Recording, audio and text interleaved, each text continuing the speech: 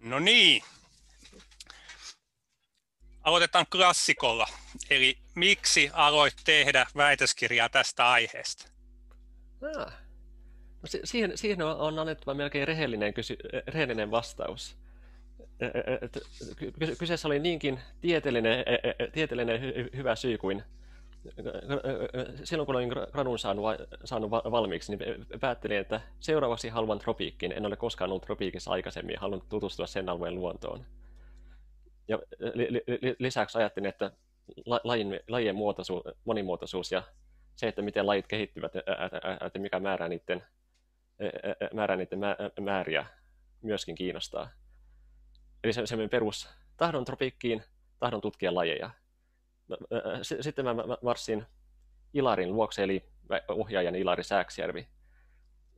Otin yhteyttä ja kerroin, että tämmöinen kiinnostaisi, onko mitään ideoita, miten tehdä tämä. Ja kaikki, jotka ovat tavanneet Ilarin, tietää, että Ilarilla on ilmiömäinen kyky saada ihmiset kiinnostumaan pienistä mustista ettiäisistä, että kukaan ei näe muuten. Ja, ja, ja Ilari ties kertoa, että, että oli kerännyt aikanaan Amazoniasta suuren määrän loispisteessä oli pyöritellyt mielessään sitä, että pitäisikö niitä kerätä muualta tropiikista. Siitä se sitten lähti. Ja kiinnostuksen kohteet tosiaan oli, haluan talsia sademetsässä, ja sitten aina on kiinnostunut myöskin selvittää, että miksi niitä lajeja on niin paljon kuin niitä, on. Joo, se noin kuulostaa ihan järkiperusteelta. Vai, vaikea olla eri mieltä. Mainitsit tuossa Turun pitkän perinteen hyönteistutkimuksessa ja monimuotoisuuden selvittämisessä, niin laittaisitko tota, nyt tämän oman työsi tähän erityisesti loisten osalta tai hyönteisten osalta tähän Tur- Turun jatkomoon? Äsken mainitsit, että Ilari Sääksjärvi ohjaasi on ollut, mutta onko sitten siinä Linneen ja Sääksjärven välissä ollut jotain? Mä, mä, mä, mä melkein asettaisin e, e, e, sen ihan, ihan monen, monen vuosisadan jatkumaan. Se, se, on semmoinen luonnosta kiinnostuneiden tyyppien jatkuman.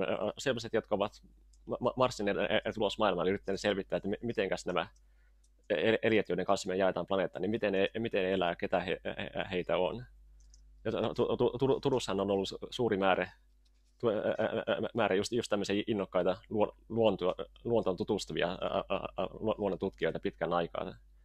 Meillä on Turun yliopiston eläinmuseolla kokoelmia aina 1800-luvun alusta, alusta lähtien, että, että porukka on marssinut, marssinut tai purjehtinut tai muuten kulkenut ympäri maailmaa kerännyt, kerännyt kaikkea, mikä vastaan tulee, ja sitten e, e, tuonut sen takaisin Turkuun, ja puolet ajasta sitten unohtanut sen, sen sinne, koska haluan mennä keräämään lisää.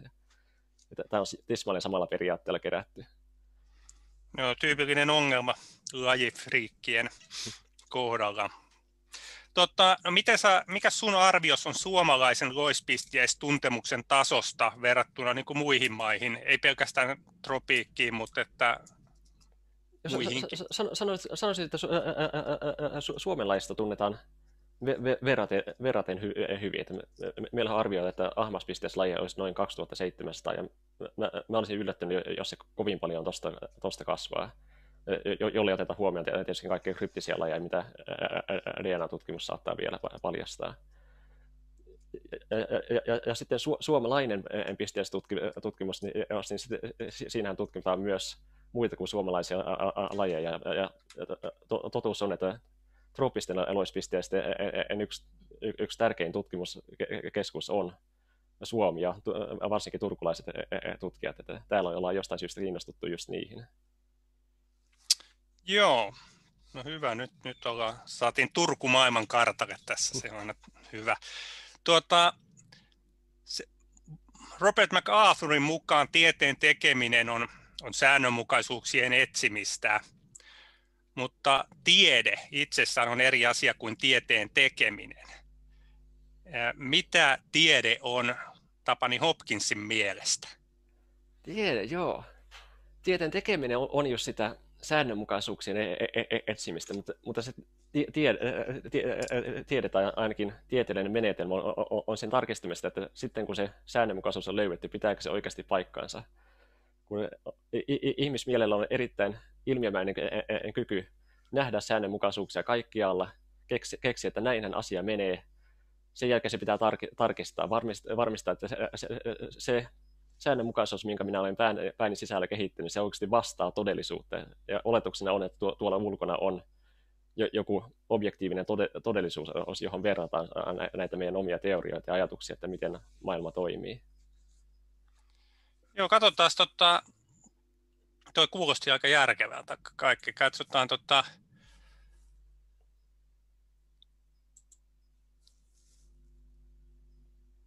tuosta laitetaan jakoon. Nyt pitäisi näkyä. Tässä on yksi, yksi määritelmä.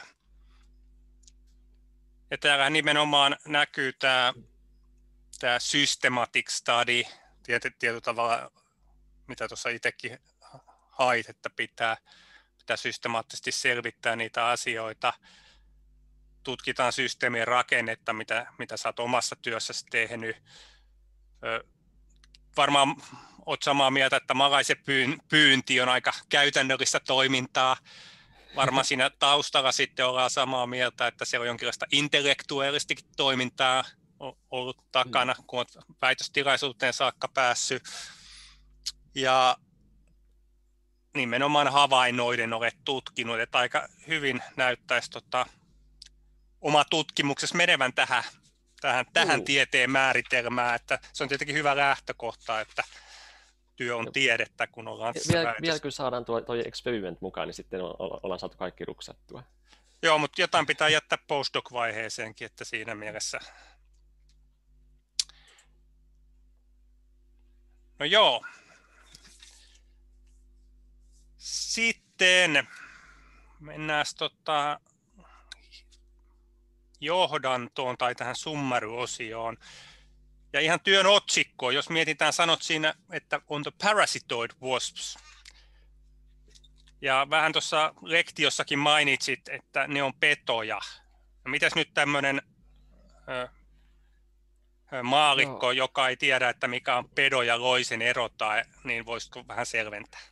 Joo, se, se, on se, se on se iku, ikuinen kysymys, että mi, mi, miten määritellään nämä loispistiäiset. Että Suomessakin niitä yleensä kutsutaan loispistiäiseksi ne, ne, ne, nehän, nehän on a, a, a, ainakin mun määritelmän mukaan, mukaan petoja. Ne tappavat, tappavat isäntänsä, yleensä ahmaspistiänsä varsinkin on, on se yksi yksilö, eli se yksi muna, joka munitaan isännän sisään. Se, se kuoriutuu, syö, syö isäntänsä elävältä ja sen jälkeen lentää pois. Eli se on tappanut isäntänsä ja syönyt sen kokonaisuudessaan, niin mun määritelmän mukaan se on petoa. Mutta mut, mut, mut toisaalta se, se, että miten ne tappavat isäntänsä, niin se ei ole oikein tyypillistä pedolle. Että norma, no, normaali, normaali peto ainakin mielikuvissa on semmoinen, semmoinen joka tarraa kiinni isäntää se, tai saalisensa, tappaa se heti ja syö sen välittömästi. Nämä elää samalla tavalla kuin loiset siellä sisällä. Aloittaa elämänsä loisina ja sitten lopulta vasta tappaa viikkojen jälkeen isäntänsä. Eli se on semmoinen e-, e-, ehkä paras termi olisi peto, joka käyttäytyy vähän samalla tavalla kuin loinen, mutta se on vähän liian pitkä termi. Niin se, onko se vähän semmoinen värimalli niin kuin perusparasiitista, joka, joka ei niin kuin tapa isäntäänsä ja sitten, sitten on peto, joka tappaa heti, niin sitten ollaan vähän mm. niin kuin... Joo, ja, ja, ja, ja, ja sitten meidän ihmiskielet kaikissa kielissä yrittää kinastella, että miten ihmeessä sitä tämmöistä kutsutaan. Sanotaanko me sitä pedoksi vai sanotaanko me sitä loiseksi. Englanninkielessä se on ratkaistu niin, että sanotaan parasitoid, eli ikään kuin loinen mikä vaan tarkoittaa, että kaikki, kaikki olemme ikinä englannin kielellä kertonut, että jos tutkin parasitoid wasps, niin kaikki vaan tuijottaa tyhjää katseen, että mikä ihme se on. Joo, se ei ole helppo. No miten sitten, tota, miten trooppinen metsä määritellään? Mikä tekee metsästä trooppisen?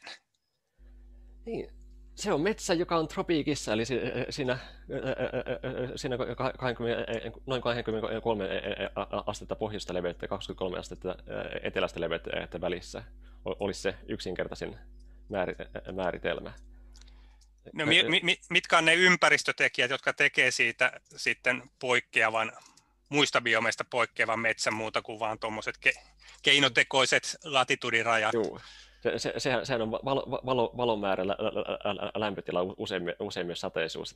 Silloin kun on tropiikissa siinä päivän tasajan kummallakin puolella, silloin on kunnolla valoa, kunnolla lämpöä, yleensä myös sataa, ja, ja, ja, ja lisäksi semmoisia me, me, me, semmoisia vuoden aikoja, mihin me Pohjolassa ollaan totuttu, niin niitä ei ole, ole missään päin tropiikkeja ei ole talvea tai kesää. Sadekausi ja kuivakausi saattaa olla, talvea ja kesää ei ole. Joo, okei. No nyt, nyt tiedetään, mi, mistä me puhutaan, kun on otsikko käyty läpi. Jos mennään sitten siihen summaryn sivulle yhdeksään. Eli siinähän niin kuin se viimeinen kappale ennen sitä 1.2-osiota, niin käsittelet niin kuin lajeja, että minkä takia me ollaan kiinnostuttu ylipäätään lajeista. No miksi lajit ylipäätään on niin kuin tärkeitä? Sä et sitä tuossa hirveästi käsittele. Hmm. Ohi, ohi mennä mainitsen, mutta, mutta emme muuten käsittele. Mutta useimmat biologit ottaa se itsestään selven, selven, että laji on se tärkeä, tärkeä asia. Mutta, mutta pohjimmiltaan lajit on, on niitä, niitä peruspalikoita, joilla elämä rakentuu ja varsinkin meidän tietämys elämästä rakentuu biologiassa. Silloin, jos me halutaan tietää jotain luonnosta, yleensä me mennään ulos luontoon ja katsotaan, että miten joku laji käyttäytyy. Ei välttämättä joku, miten joku yksilö käyttäytyy, vaan miten laji käyttäytyy. Sitten silloin, silloin, jos huomataan esimerkiksi että Suomen olosuhteissa, että, että kuuset ei, ei, ei kasva tietyn leveyspiirin e, e, e, pohjoispuolella, niin sitten me oletetaan, että tämä pätee koko lajin nimeltä kuuset. Sen sijaan, että sanottaisiin, että meillä on miljoona puuta, puuta jotka näyttää vähän, vähän tältä, ja kaikista niistä ollaan huomattu, että ne kasvaa vähän eri paikassa. Miten sä näkisit sitten, että onko se, onko se lajien merkitys, nyt ehkä mitä tuossa sanoit, niin onko se tämmöinen välinearvo, meille siis tieteessä tai, tai jonkun muun käytännön kannalta, vai onko se sitten enemmän itseisarvoa, vai mitä, kumpa siinä on? Ha, toi on, sanoisin enemmän, enemmän, enemmän välinearvoa ihmiselle silloin, kun me yritetään hahmottaa, että miten, miten maailma toimii. Että mikään elävä oli jo metsässä ei, ei, ei oikeastaan välitä paljon siitä, että mikä on lajin määritelmä tai mihin lajiin hän, hän kuuluu, mutta me, me, meille se auttaa hahmottamista erittäin paljon. To, to, to, to, toki, toki, toki siinä, siinä mielessä se jokaiselle lajille myös tärkeää, että, että nehän pystyy vain lisääntyä oman lajinsa edustajan kanssa, niin kyllä niitä jotain pitää tietää, tietää siitä, että mikä on oma laji. Niin, eli siis joo, eli jos mietitään niin tiete, tieteen tekijän näkökulmasta, niin sitten tämmöinen lajikäsite on, on tietyllä tavalla välinearvo, joka auttaa mm. meitä jäsentämään todellisuutta. Joo, jo, jo, jossain määrin myös keinotekoinen semmoinen, että, semmoinen, että me, mä, mä, mä, mä, mä, mä, mähän olen väitöskirjassa niin kuvannut tieteelle kaksi uutta lajia, mutta se, sekin on hieman määritelmä kysymys, että mitkä on eri lajeja, mitkä, mitkä ei, ole, ei ole eri lajeja. No miten sitten käytännön, jos ajatellaan vaikka luonnonsuojelua? Jos sun pitäisi perustella lajien merkitystä, niin vetoaisitko lajien välinearvoon tai että niistä on jotain hyötyä meille hmm. vai ai itseisarvoa? Si, si, si, si, siinä mä melkein vetoaisin e, e, siihen, että, e, että kaikilla eliöillä on itseisarvonsa. Että välinearvo mä en yleensä luontokappaleista puhuessa tykkää viitata. Mutta, mutta lajit, lajit on luonnonsuojelussa erityisen tärkeitä, että koska jos lajin kerran tuhoaa kokonaan, niin sitä ei saa koskaan takaisin. Jos me mennään metsään ja ammutaan puolet karhuista esimerkiksi, niin se on, se on huono niille, niille karhuille, jotka tuli ammuttua, mutta ainakin, ainakin tulevaisuudessa tulee silti olemaan karhuja siitä huolimatta. Mutta jos me ammutaan kaikki karhut ja tuhotaan koko laji, niin sitten ei enää ole karhun karhua olemassakaan ja niitä ei, ikinä tule takaisin. Joo, toi oli, mä oon, on samaa mieltä, että se väline tai tämmöinen niin kuin hyötynäkökulma kulma johtaa aina semmoiseen keskusteluun sitten, että mitäs ne lajit, joista ei ole hyötyä, niin se on, mm. on, on vähän haitallinen. Mutta laitetaan nyt tässä taas tämmöinen pieni filosofinen mietintämyssy päälle. Ja nyt pitäisi taas näkyä screeni. Tämmöinen hyvin teoreettinen tilanne. Tässä näet kaksi mäntymetsää. Kumpi näistä viehättää sun silmää enemmän? Vasemmanpuolinen, mutta mä en, mä en tiedä, että johtuuko se siitä, että mä, mä olen sen, sen verran näihin tutu, metsiin tutustunut jo. Okei. No, mites jos meillä olisi semmoinen tilanne, meillä olisi vaihtoehtoa nyt muuttaa vaikka metsien käsittelyä niin ja kaikkia muitakin tota, lainalaisuuksia, että kaikki Suomen männiköt näyttäisi tältä vasemmanpuoleiselta kuvalta, mutta se johtaisi siihen, että yksi ahmaspistiäislaji häviäisi Suomesta sukupuuttoon. Ai. Toinen vaihtoehto sitten on se, että koko Suomi näyttää tältä kuin tässä oikeassa kuvassa, mutta yksikään ahmaspistiäislaji ei häviä Suomesta. Kumman valitset? Tämä vasemmanpuoleinen maisema, no, yksi re, laji häviää, Rehellisesti pitää sanoa, että jos, jos joku väittää, että kaikki Suomen männiköt muuttuisi tuon oikeanpuolimaiseksi melkein puupello, se väittää, että yksikään ahmaspisteessä laji häviää, niin ne, ne, kyllä valehtelisi päin naamaa. Me, me, melkein sen olisi pakko, pakko olla toi vasemmanpuolinen. Vasemmanpuolinen on, on paljon luonnontila, lu, lu, lu, luonnontilaisempi metsä. Siellä näyttää olevan lahopuu, lahopuutakin, mistä monet näistä hyönteisistä tykkää. Niin si, si, si, si, si, siinä ikään kuin uhrataan yksi, yksi laji, mutta, mutta ne muut lajit selviää. Kun taas tuo oikealla puolella oleva puupelto, niin jos, kaikki Suomen metsät muuttuisi tuommoiseksi, mitä ne pelot, me ollaan pelottavan asti menossa siihen suuntaan, jopa, niin, jos kaikki Suomen metsät muuttuisivat tuommoiseksi, niin kyllä, se, kyllä siinä vähintään satoja lajeja kuolisi sukupuuttoon heti. Eli me niin hyväksyttäisiin tämmöinen äh, sotaelokuvista tuttu collateral damage, että y- y- yksi tota, laji saa mennä, jos, jos silmää miellyttää toi maisema. No jos Tämä tai, tai, esimerk... tai y- y- yksi, y- yksi laji, laji menee, jos vaihtoehtona on se, että sata lajia menee. No ei tässä, tät, sit, sitä ei tässä hypoteettisessa tilanteessa ollut. No, no tietenkin tämä on sellainen filosofinen kysymys vähän se, että, niin kuin tämä, että jos, jos on pakko valita, että ohjaatko, ohjaatko auton niin kuin yhden ihmisen päälle vai, vai toisen, ja sitten voidaan varjoida mm. niitä ihmisiä. Mutta siis ehkä osoittaa sen, että, että välttämättä kaikissa päätöksissä tai kaiken arvottamisen taustalla ei pelkästään ole suoraan lajit, vaan siinä voi olla myös tämmöiset esteettiset, esteettiset mm. asiat jossain määrin. Mutta joo, mennään nyt takaisin tähän todellisuuteen ja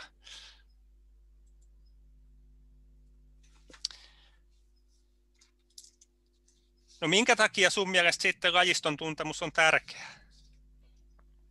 Muuta kuin tämmöinen no. tieteellinen mielenkiinto. Niin, no, tieteellinen, tieteellinen mielenkiinto on se, se pohjimmilta on. Se, se tieteellinen mielenkiinto on, on, on, on se sama lapsenomainen mielenkiinto siitä, että miten maailma toimii ja mitä, mitä sieltä löytyy. Pohjimmilta se eltää se vaan, että että luonto on kiinnostava. Jos haluaa luonnosta mitään ymmärtää, niin on pakko melkein tuntea lajit. Et ilman lajin tuntemusta ei pysty tehdä mitään muuta. Kaikki muu biologiassa pohjautuu siihen, että me tunnetaan lajit. Joo, ja varmaan niin kuin siihen liittyen juuri se, että myös luonnon suojelu, monimuotoisuuden suojelu ja sen, sen huomioiminen vaatii se, että me tunnetaan lajistoa. Jokuhan joskus todennut ne, ne aika hyvin sen, että, että emme arvosta sitä, mitä emme tunne. Mm. Emmekä suojele sitä, mitä emme arvosta. Eli tässä on myös tämmöinen, tämmöinen ajatusketju taustalla. Okei, no sitten sama sivu. Jätetään nyt tämmöinen lajien filosofinen pohdinta taakse. Sä esität tässä, että 1.1 koodassa, että lajit eivät ole tasaisesti jakautunut, tai itse asiassa 1.2 taitaa olla. Ja sivun 9 ja 10 siinä taitteessa niin esität kolme hypoteesia kirjallisuudesta, jotka voivat selittää, että miksi tropiikissa on enemmän lajeja. Ekologinen, evolutiivinen ja historiallinen. Voisitko kertoa, että mikä näiden keskeinen ero on näiden hypoteesien? Joo. Mäpä samalla myös jaan sen sivun muille katsottavaksi.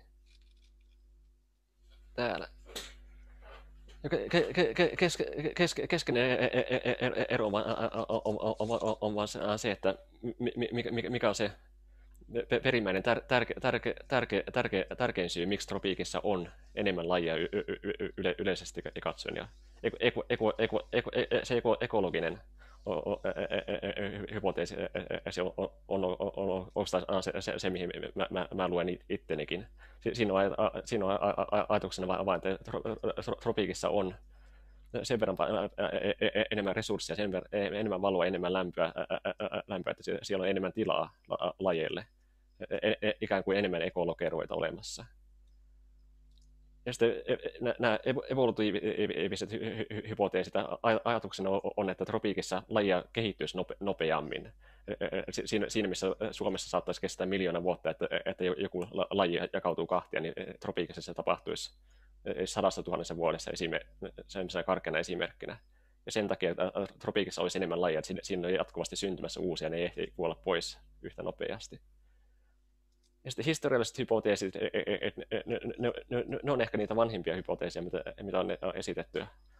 Ajatuksena on, on, on, on että täällä Pohjolassa jääkaudet on, on karkeasti ottaen tuhon kaikki lait, ja me ollaan yhä toipumassa kaikista niistä häiriöistä, mitä, mitä Pohjolan ilmastossa on. Kun taas tropi, tropi, tropiikissa on, on ollut pidempään vakaata ja vakaata ja siellä on ollut, ollut enemmän aikaa lajeille kehittyä. Lajit ei kuole pois yhtä nopeasti. Joo, miten sitten mä mietin tota, tota, evolutiivisen ja historiallisen hypoteesin eroa erityisesti. Eli niin kuin tuossa sanoit, että, että evolutiivinen hypoteesi liittyy siihen, että lajit evolvoituvat, lajiutumista mm. tapahtuu ja mm. sukupuuttoja tapahtuu vähemmän. Mutta sitten tuo historiallinen hypoteesi, niin mä en oikein näe, että mikä se ero on tuohon evolutiiviseen. No, e- e- e- evolutiivisessa hypoteesissa on oman ajatuksena, että jostain syystä, mitä ei edes määritellä, niin, niin lajeja syntyy huomattavasti no, e, e, e, nopeammin ja niitä kuolee pois huomattavasti hitaammin. Ja, ne syyt voi, jotkut niistä esitetyistä syistä on, on, on yksinkertaisia kuin, että on suurempi lämpötila ja sen, sen takia mutaatioita tapahtuu nope, nope, nope, nopeammin ja on he, helpompi lajille jakautua kahtia ihan ilman mitään ulkoisia tekijöitä. Kun taas historian hypoteesi on nimenomaan, että erilaisista jääkausista ja muista historiallisista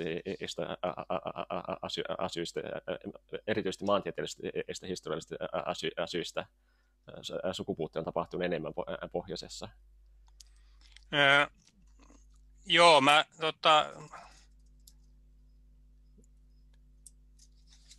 No niin, joo, mun mielestä sä aloitit ton ihan hyvin. Et, siis mä näkisin ton nyt ehkä ton, ton sä selitit sen hyvin, että onko toi nyt se ero se, että evolutiivinen on periaatteessa nyt mikä tahansa ja sitten tuo historiallinen viittaa puhtaasti aikaan. Su- suurin, suurin piirtein joo. Joo.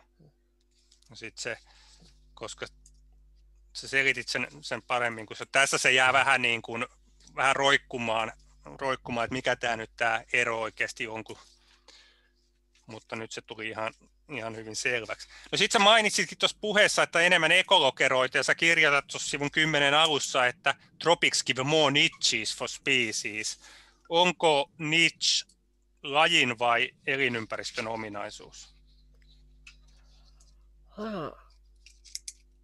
Houkutus sanoa elinympäristö, mutta käytännössä, käytännössä se on se, sen la, la, la, lajiston ominaisuus. Mä sanoisin, mi, mi, mi, ei, ei niinkään minkään yksittä, yksittäisen, yksittäisen lajin. Se, se, se, mitä ainakin paleontologiassa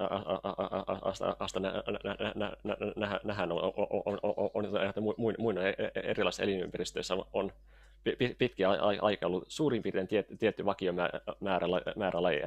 Eli ikään kuin siinä eliöyhteisössä, siinä ympäristössä on, on tilaa esimerkiksi tuhannella lajille. Ja, ja, ja, ja häiriöt, häiriöt saattaa poikkeuttaa sitä lajimäärää hieman ylös, ylös alas, mutta käytännössä se asettuu siihen tuhanteen lajiin. Mut, mut, mut, mutta sitten silloin, silloin tällöin, kautta elämän historian on, on tapahtunut niin, että joku täysin uudenlainen innovaatio ikään kuin on, on, on, tullut, on tullut täysin uudenlainen eliöryhmä, ja sitten saattaa olla se, se tasapaino asettuukin 2000 lajiin. Esimerkiksi, että jotkut keksii keksii hengittää, hengittää happea tai, jotkut toiset eliöt on keksinyt tuottaa happea, happea oikein muidaan. Silloin, jos, jos aiemmin on ollut oikein pitkä tasapaino ainoa, että tuhat lajia on se tasapaino, sitten, sitten heti kun joku yksi porukka, joka keksii tämän uuden innovaation, niin se uusi tasapainoasema on 2000 lajia, niin se, sehän, sehän osoittaa vähän sitä, että se ei ole se elinympäristö itsessään, joka on määrännyt, että kuinka monta lajia siellä elää, vaan, vaan se koko, kokonaisuus, että mitä eliöitä ja mitä lajia sieltä löytyy. Niin se, se koko lajisto on määrännyt sen lajimäärän. Niin, eli siis tuossa mitä puhuit noista avaininnovaatioista, niin eli käytännössä siis yksinkertaisemmin ehkä sanottuna se, että, että lajien elinympäristövaatimuksiin liittyy evoluutiota mm. tai valintapaineita ja ne muuttuu evoluutiossa. Ja, ja tota, tätä kautta sitten itse asiassa se ekologero olisi, olisi niin kuin lajin ominaisuus. Toki siinä on sitten lajin sisällä yksilöiden välistä vaihtelua. Et, et sinällään se ympäristöhän siinä ei välttämättä tarvitse muuttua yhtään minnekään. Ja tietenkin, että nyt jos toi muotoilu, että jos mietitään, että, että lajit sopeutuvat ympäristöön, niin, niin silloin tietenkin, niin kuin mitä äsken kuvasit, niin ympäristövaihtelu mahdollistaa sopeutumisen erilaisiin mm. asioihin, mitä, ja mitä monenlaisempaan pystytään sopeutumaan, niin se sitten johtaa helpommin lajiutumiseen. Eli, eli sitä kautta siellä on niin kuin aika vahva korrelaatio tämmöisen niin kuin heterogeenisyyden ja, ja sitten tämän tämän tota, ekologeroiden nitsien välillä. Et ehkä tämmöinen niin give more niches on ehkä muotoiluna sopivan epämääräinen, että se voi tulkita niin kuin ihan, ihan miten päin vaan. Mutta joo, sitten mä mietin just tota, osittain sitten tähän, tähän liittyen, niin tuli mieleen tämä tämmöinen Hutchinsonin 1965 legendaarinen niin kuin vertaus, jossa se puhuu, että evoluutiota tapahtuu ekologisessa teatterissa. Ja, ja tietyllä tavalla senhän sä äsken tuossa kuvasit, kun puhuit siitä, että on jonkinlainen ympäristö, jos on tietynlaiset valintapaineet ja sitten ne lajit sinne sopeutuu. Eli tietyllä tavalla tämä ekologinen ja evolutiivinen selitys niin kuin oikeastaan kytkeytyy toisiinsa hyvin, hyvin läheisesti. Mm. Joo.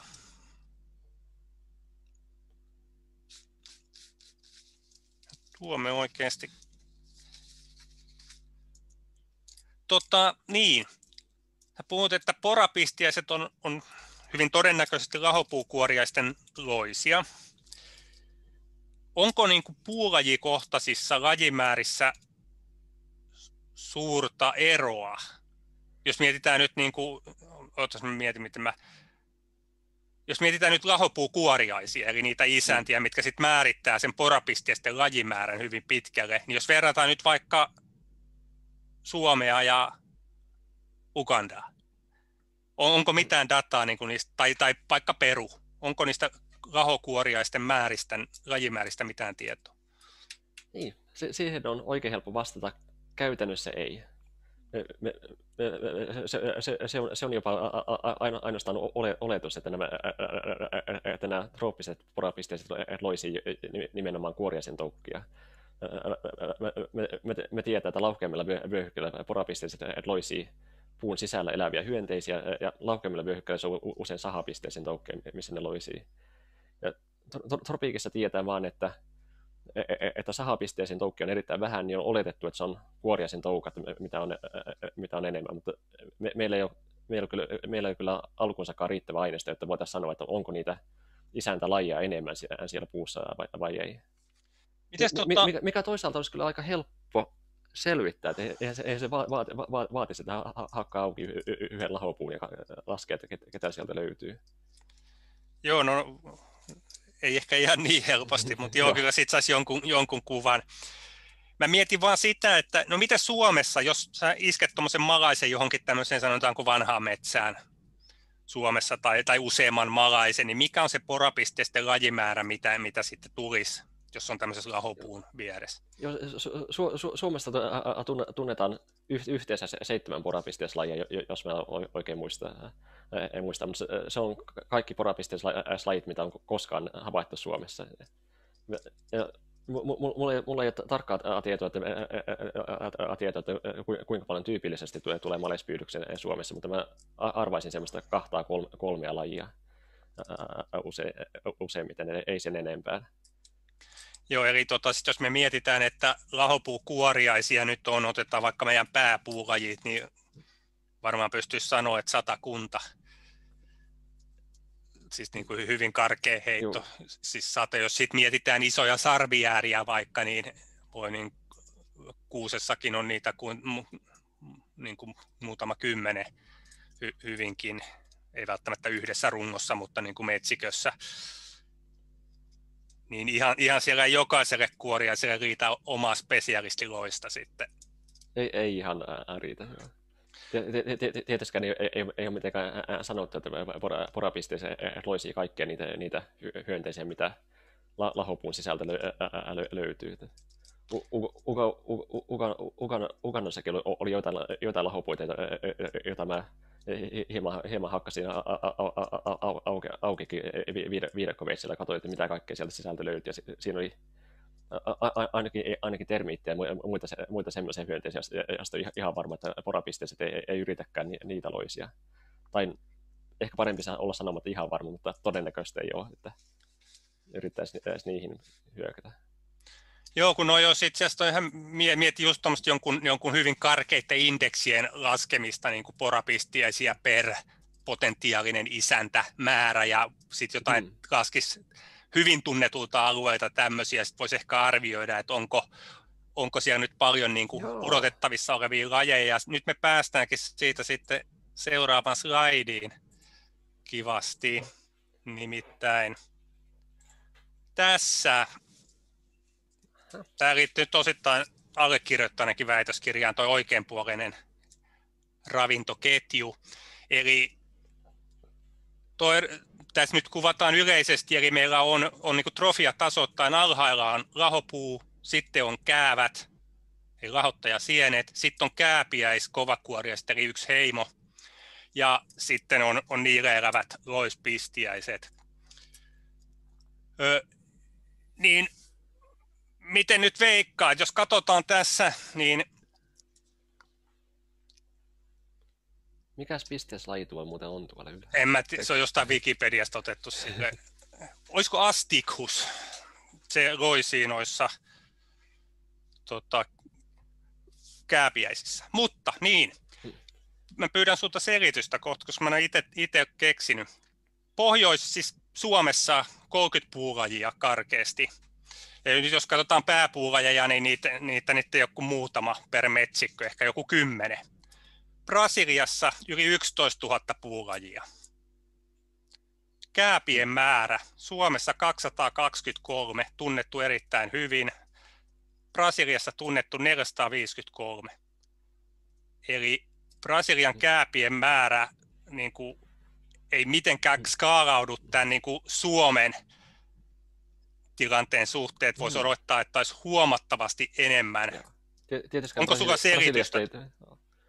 No siis eihän se tietenkään ole tunnet, tunnettu samalla tavalla Joo. kuin Suomen lajisto, Mut, mutta, mutta toisaalta käävät on aika helppo havaita. Voi, onko sulla mitään selitystä tähän?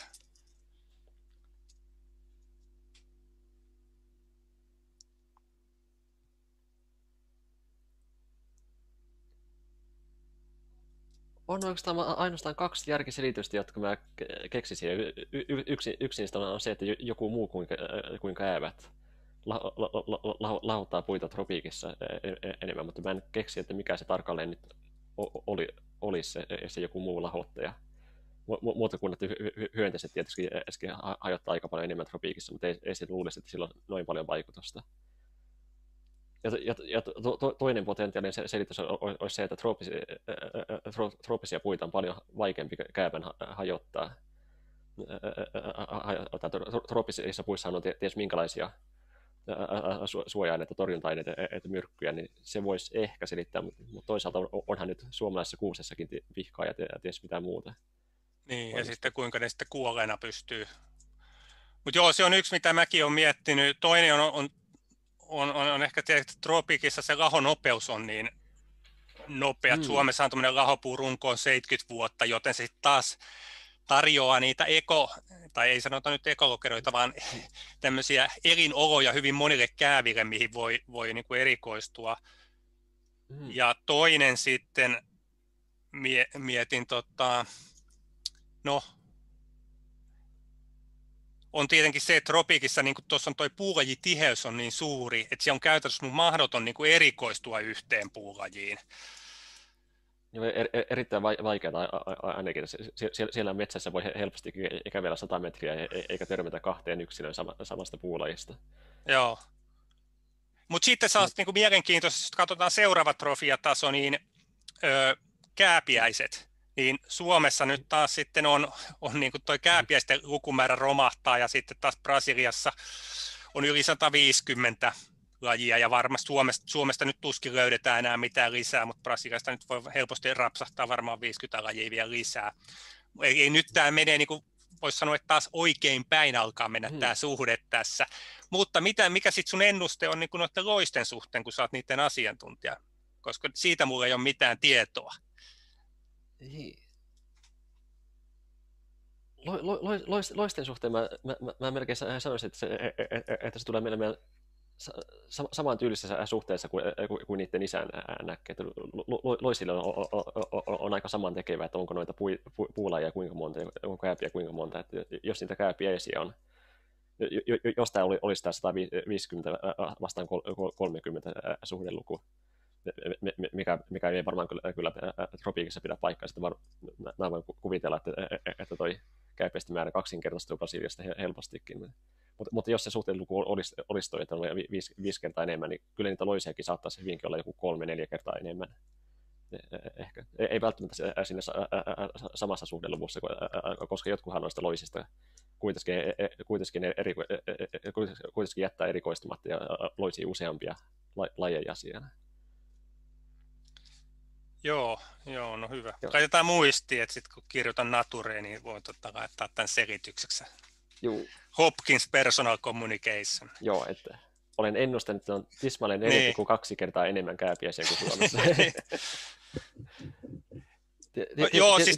Tietenkin jonkin verran myös, myös riippuu siitä, että mikä näiden loisinta tyyli on. Että no porapistia, e- e- e- että hän on semmoisia, että ne lamannuttaa isäntään se, se, ja se, se, se isäntä ei sitten herää se, sen jälkeen sen jälkeen lainkaan.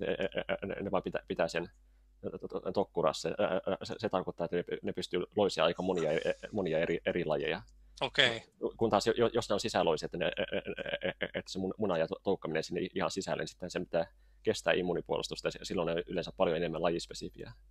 No tämä on, on tota, suurin osa on, on tota sisäloisia kyllä noissa käävissä. Mutta joo, no to, toki niin tämä on tämmöinen hirveän robusti vertaus, että tuossahan nyt voisi vähän standardoida vaikka noita lajimääriä niin kuin per metsäpinta-ala tai maapinta-ala mm. tai jotain muuta, että et muuten Brasilia ja Suomen vertailu ei nyt ihan näin yksi oikoista ole, mutta että liittynee osittain tuohon sun teemaan. Ja sitten tota, en tiedä, oletko tähän tutustunut? No, en ole itse asiassa.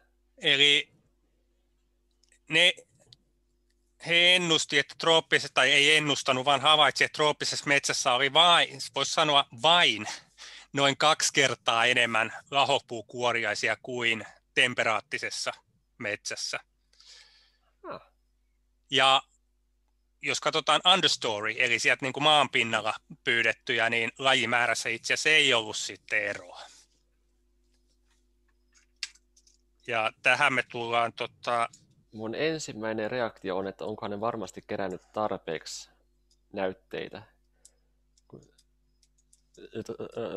Trooppisessa hyönteistutkimuksessa se, se to, to, to, toistuva, ei välttämättä virhe, mutta toistuva ilmiö tutkimuksen alussa on, että kerätään liian vähän tropiikista ja sitten huomataan, että meillä oli sata, laji, sata lajia meidän trooppisessa näytteessä, meillä on sata lajia meidän suomalaisessa näytteessä, eli varmaan näitä lajeja on suurin piirtein yhtä paljon. Ja sitten uno, uno, uno, uno, uno, uno, unohdetaan, että jos sinne tropiikki menisi takaisin ja keräsi enemmän, niin saattaisi löytyä parisen sataa lajia lisää helpostikin. Joo, mä en muista nyt, tota, se ei ole mulla tässä tuo artikkeli, että kuinka hyvin. Mutta ehkä tässä nyt semmoinen niin viesti on, on, on mietin, mitä mä perehdyin, että mm. välttämättä, että jos mietitään, että, että säkin paljon pohdit sitä, että onko, onko niitä porapistiäisiä, että minkä tämä niin kuin pohjois-etelä gradientti, minkälainen se on, niin nyt kuitenkin niin kuin jonkin verran on, on näyttöä tästä, että lahopuukuoriaisten määrä ei välttämättä niin hirveästi eroa, ainakaan nyt sitten lauhkeen ja tropiikin välillä. Ja sitten tietenkin jos porapistiäiset käyttää pääsääntöisesti lahopuukuoriaisia, niin sitten voisi tietenkin ajatella, että se porapisteisten määräkään nyt ei niin hirveästi eroa. Ja nykytiedon välissähän se ei ainakaan Ukanda ja Suomen välillä niin hirveästi eroa. Hmm. Joo, ku, ku, ku, no tuplamäärä tai... Joo, kummastakin asti on, on, on, tällä hetkellä löydetty saman verran lajeja, että Suomesta seitsemän lajia, Ugandasta kuusi. Joo. Mutta, mutta tietysti Su- Suomesta on kerätty parin sanan vuoden ajan ja käytännössä saatu joka ikinen laji, laji kiinni, kun taas Ugandassa on varmasti kaksi kertaa enemmän lajia vielä löydettävänä. Juuri näin. No joo, sitten mennään itse sankareihin, eli Darwin vaspeihin. Uh. Ja... Uusi, uusi englanninkielinen nimi e- e- niille, mikä ehdotettiin parisen vuotta sitten. Ja... Okei, te ehdotitte vai joku muu? aika monet, e- aika monet pistiäistutkijat, mä, mä en ollut mukana, mukana siinä ehdotuksessa, mutta Ilari asiassa oli, oli mukana, okay. mukana äänestämässä, että millä nimellä yritetään, yritetään kutsua näitä mulla sitten kesti puoli vuotta, vuotta vakuuttua siitä, että, että se toimii, kun yleensä mä en tykkää siitä, että jonkun ihmisen nimen mukaan nimetään, nimetään eliöitä, mutta, mutta tässä tapauksessa se ihan toimii aika hyvin. Niin. Niin, tai sitten syyllistyä siihen vähän itsekin jossain. No joo, myönnettävästi, niin mun on huono, huono vähän sanoa mitään sen, sen mm. takia. Et, et pysty moraaliposeeraamaan enää siinä. No okei, sitten tota, sivulla 10 kirjoitat, että ahmaspistiäiset niin kuin laskevat munansa muihin hyönteisiin tai niiden toukkiin, ja this makes them ecologically important since they regulating, regulate population densities of other insects and spiders, ja sitten laitat siihen tota, muutaman viitteen perään. Pystytkö määrittelemään tai kuvailemaan, mitä tarkoittaa population regulation? Tarkoittaa ihan kirjaimellisesti kannan säätely, eli se, että ne, loispisteiset käytännössä päättää, että kuinka paljon niiden isän, isäntä, isäntien yksilöitä on luonnossa. eri, eri lajien populaatioita hän säätelee ties kuinka moni, moni eri tekijä, mutta, mutta, mutta hyönteisellä se se, se vaikuttaa olevan sillä tavalla, että usein se on juuri, juuri saalistus, joka, joka määrää, että kuinka paljon niitä, niitä löytyy. Jos niiden kanta, kanta kasvaa oikein suureksi, niin sitten porapistiäisillä on oikein paljon syötävää ja ne, ne, ne syö pois ne ylimääräiset. Ja jos niiden isäntien kanta tippuu oikein pieneksi, niin sitten ne porapistiäisetkin nääntyy nälkään ja, tai, tai ei, ei, ei vaan pääse lisääntymään, sitten, sitten se isäntien kanta nousee. Niin. Okei, joo, eli siis tota, Eli jos sanotaan niin kuin yhdellä termillä, että olisi niin kuin tiheysriippuvaista, density dependence, mm. se säätely, että aina, aina palautuu tietyllä tavalla jonkinlaiselle lainausmerkeissä tasapainot Joo. alueelle, ei nyt mitään yhtä tasapainotasoa tietenkään ole. Ja, ja, ja, ja, ja, ja, ja näiden tapauksessa se, että mikä se tasapainoasema on, niin se, sen määrää melko lailla ne saaristajat, eli porapisteiset tai muut ahmaspisteiset. Eli sitten vielä aika ilmeistä, eli onko kyse top-down vai bottom-up säätelystä sitten? Top, top-down sitten, eli just että saalistajat määrää, eikä, eikä niinkään että määrää, että kuinka paljon ruokaa on saatavilla. Joo, no mitä sitten, kun sä tuossa käytit tuota termiä important role, niin mitä sä sillä tarkoitat? Siis että ylipäätään säätelevät vai jotain muuta? Ja säätelevät että myös, että, että niiden, niiden vaikutus siinä säätelyssä on, on merkittävä. Tosiaan kaikissa, kaikilla lajilla, lajilla on ties kuinka monta eri säätelevää tekijää, tai eri tekijää, jotka määrittävät, että kuinka, mikä niiden populaatiokoko on. Ja, ja, ja ahmaspiste että on monille lajille yksi merkittävimmistä säätelevistä tekijöistä tai, tai ainakin, ainakin yksi niistä merkittävistä. Ehkä, ehkä meillä ei ole aineistoa sanoa läheskään aina, että ne on merkittävimpiä.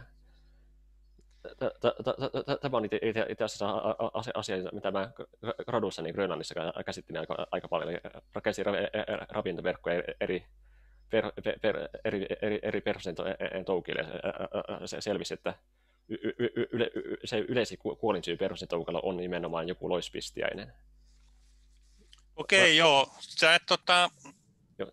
Sitä mä en ole väikkärissä niin tarke, tarkemmin en tuonut ilmi, mutta... Niin, joku semmoinen self-citation olisi voinut olla ihan hyvä, koska mun jatkokysymys sitten on, on tuohon oikeastaan se, että osoittaako mikään noista sun käyttämistä viitteistä – että loispistiäiset säätelevät isäntiensä kantoja. Gaudan, Bolton 88, Varkonyi 2002, Morris 2004, Roslin 2013.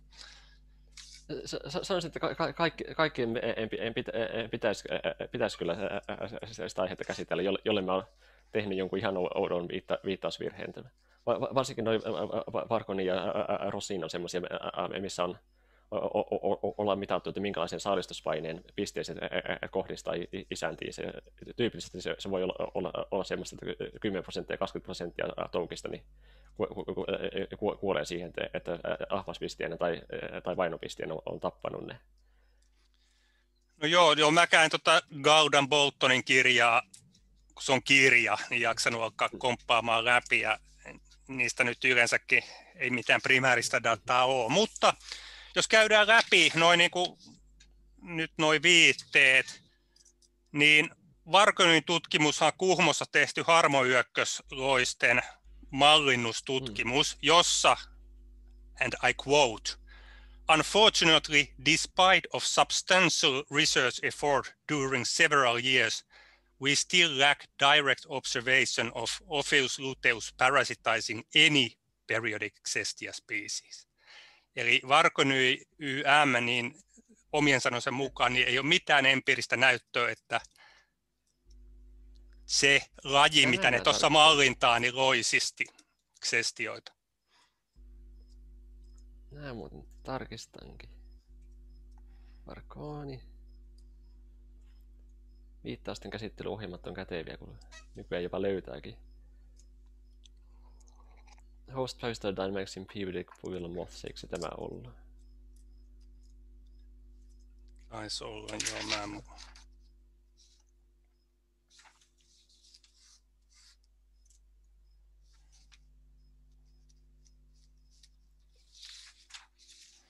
Joo. Nyt en kyllä äkkiseltä muista tarkalleen, miten tämä meni, mutta mun, mun, mun, mun muistaakseni, mun muistaakseni nämä, nämä eivät löytäneet mitään su, su, suoraa todistetta, todistetta siitä, siitä eli, eli ei nähnyt loispisteeseen varsinaisesti loisiman toukkaan.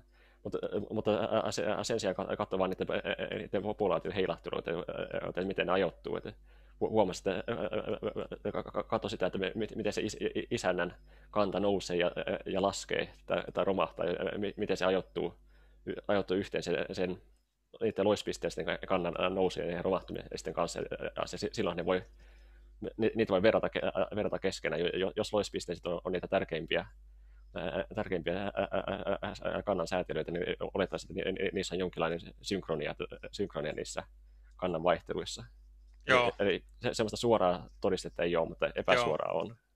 Joo, no sitä tietenkään, jos ei ole yhtään näyttöä, että tuo laji roisisi sitä, niin, mutta nyt ei ole tarkoitus Vargony-tutkimusta tässä esitarkastaa, mutta et vaan niin kuin tuommoisena yhtenä, että et kun sä tuli vaan mieleen tuossa, kun, kun paljon tota, just mainitset tähän käänteiseen latitude richness gradienttiin liittyy paljon vähän pienellä aineistolla tehtyjä juttuja, josta on tehty pitkälle meneviä heittoja, jotka sitten ah, elää joo. vuosikymmeniä tutkimuksessa, niin, niin tämä nyt on vain niin esimerkkinä, että tämä regulaatio asia on ehkä vähän jopa samanlainen. Ja otetaan sitten seuraava, Rusliin et al. Tässähän sä olit itsekin mukana. Juu, tämä taitaa perustaa mun, mun graduuni. Joo, the structure of the host parasitoid submodule of the food web suggests, ehdottaa, scope for classical apparent competition, näennäiskilpailu, joka ei, ei suoranaisesti vielä ole regulaatiota. Näin uskaltaisin väittää. Sitä vähän mietiskelin kotona, että niin tota, mutta en mä tullut mihinkään johtopäätöksiin. Siinä kyllä näennäiskilpailu oli enemmän perhostoukkien lajien välillä. Ikään kuin silloin, kun yksi perhosen toukka, yksi perhosen toukka laji yleistyy, niin toinen perhoslaji harvinaistuu. Se, johtuu siitä, että niillä on yhteinen saalistaja. Joo. Ei, ei niinkään loispisteisten välillä olevaa näennäiskilpailua. Joo, ja sitten täällä sanotaan, että we estimate that birds kill as many larvae as of as nigrita as do parasitoids, and spiders kill many more. Apua. Niin, Spiders muuten... 38 prosenttia, Juu. parasitoidit vaan 8 prosenttia niin, yhtä niin päin, niin päin se muuten menikin. Ja mun pitäisi tietää toi, koska to, toi on se mun gradun päällimmäinen, päällimmäinen tulos. Mä, mä, mä, oon, mä oon noin lukemat aikaan saanut. Niin, Mutta näin se kato helposti sitten repsattaa. Ja sitten täällä itse asiassa mainitaan vielä jutussa our result caution against broad generalizations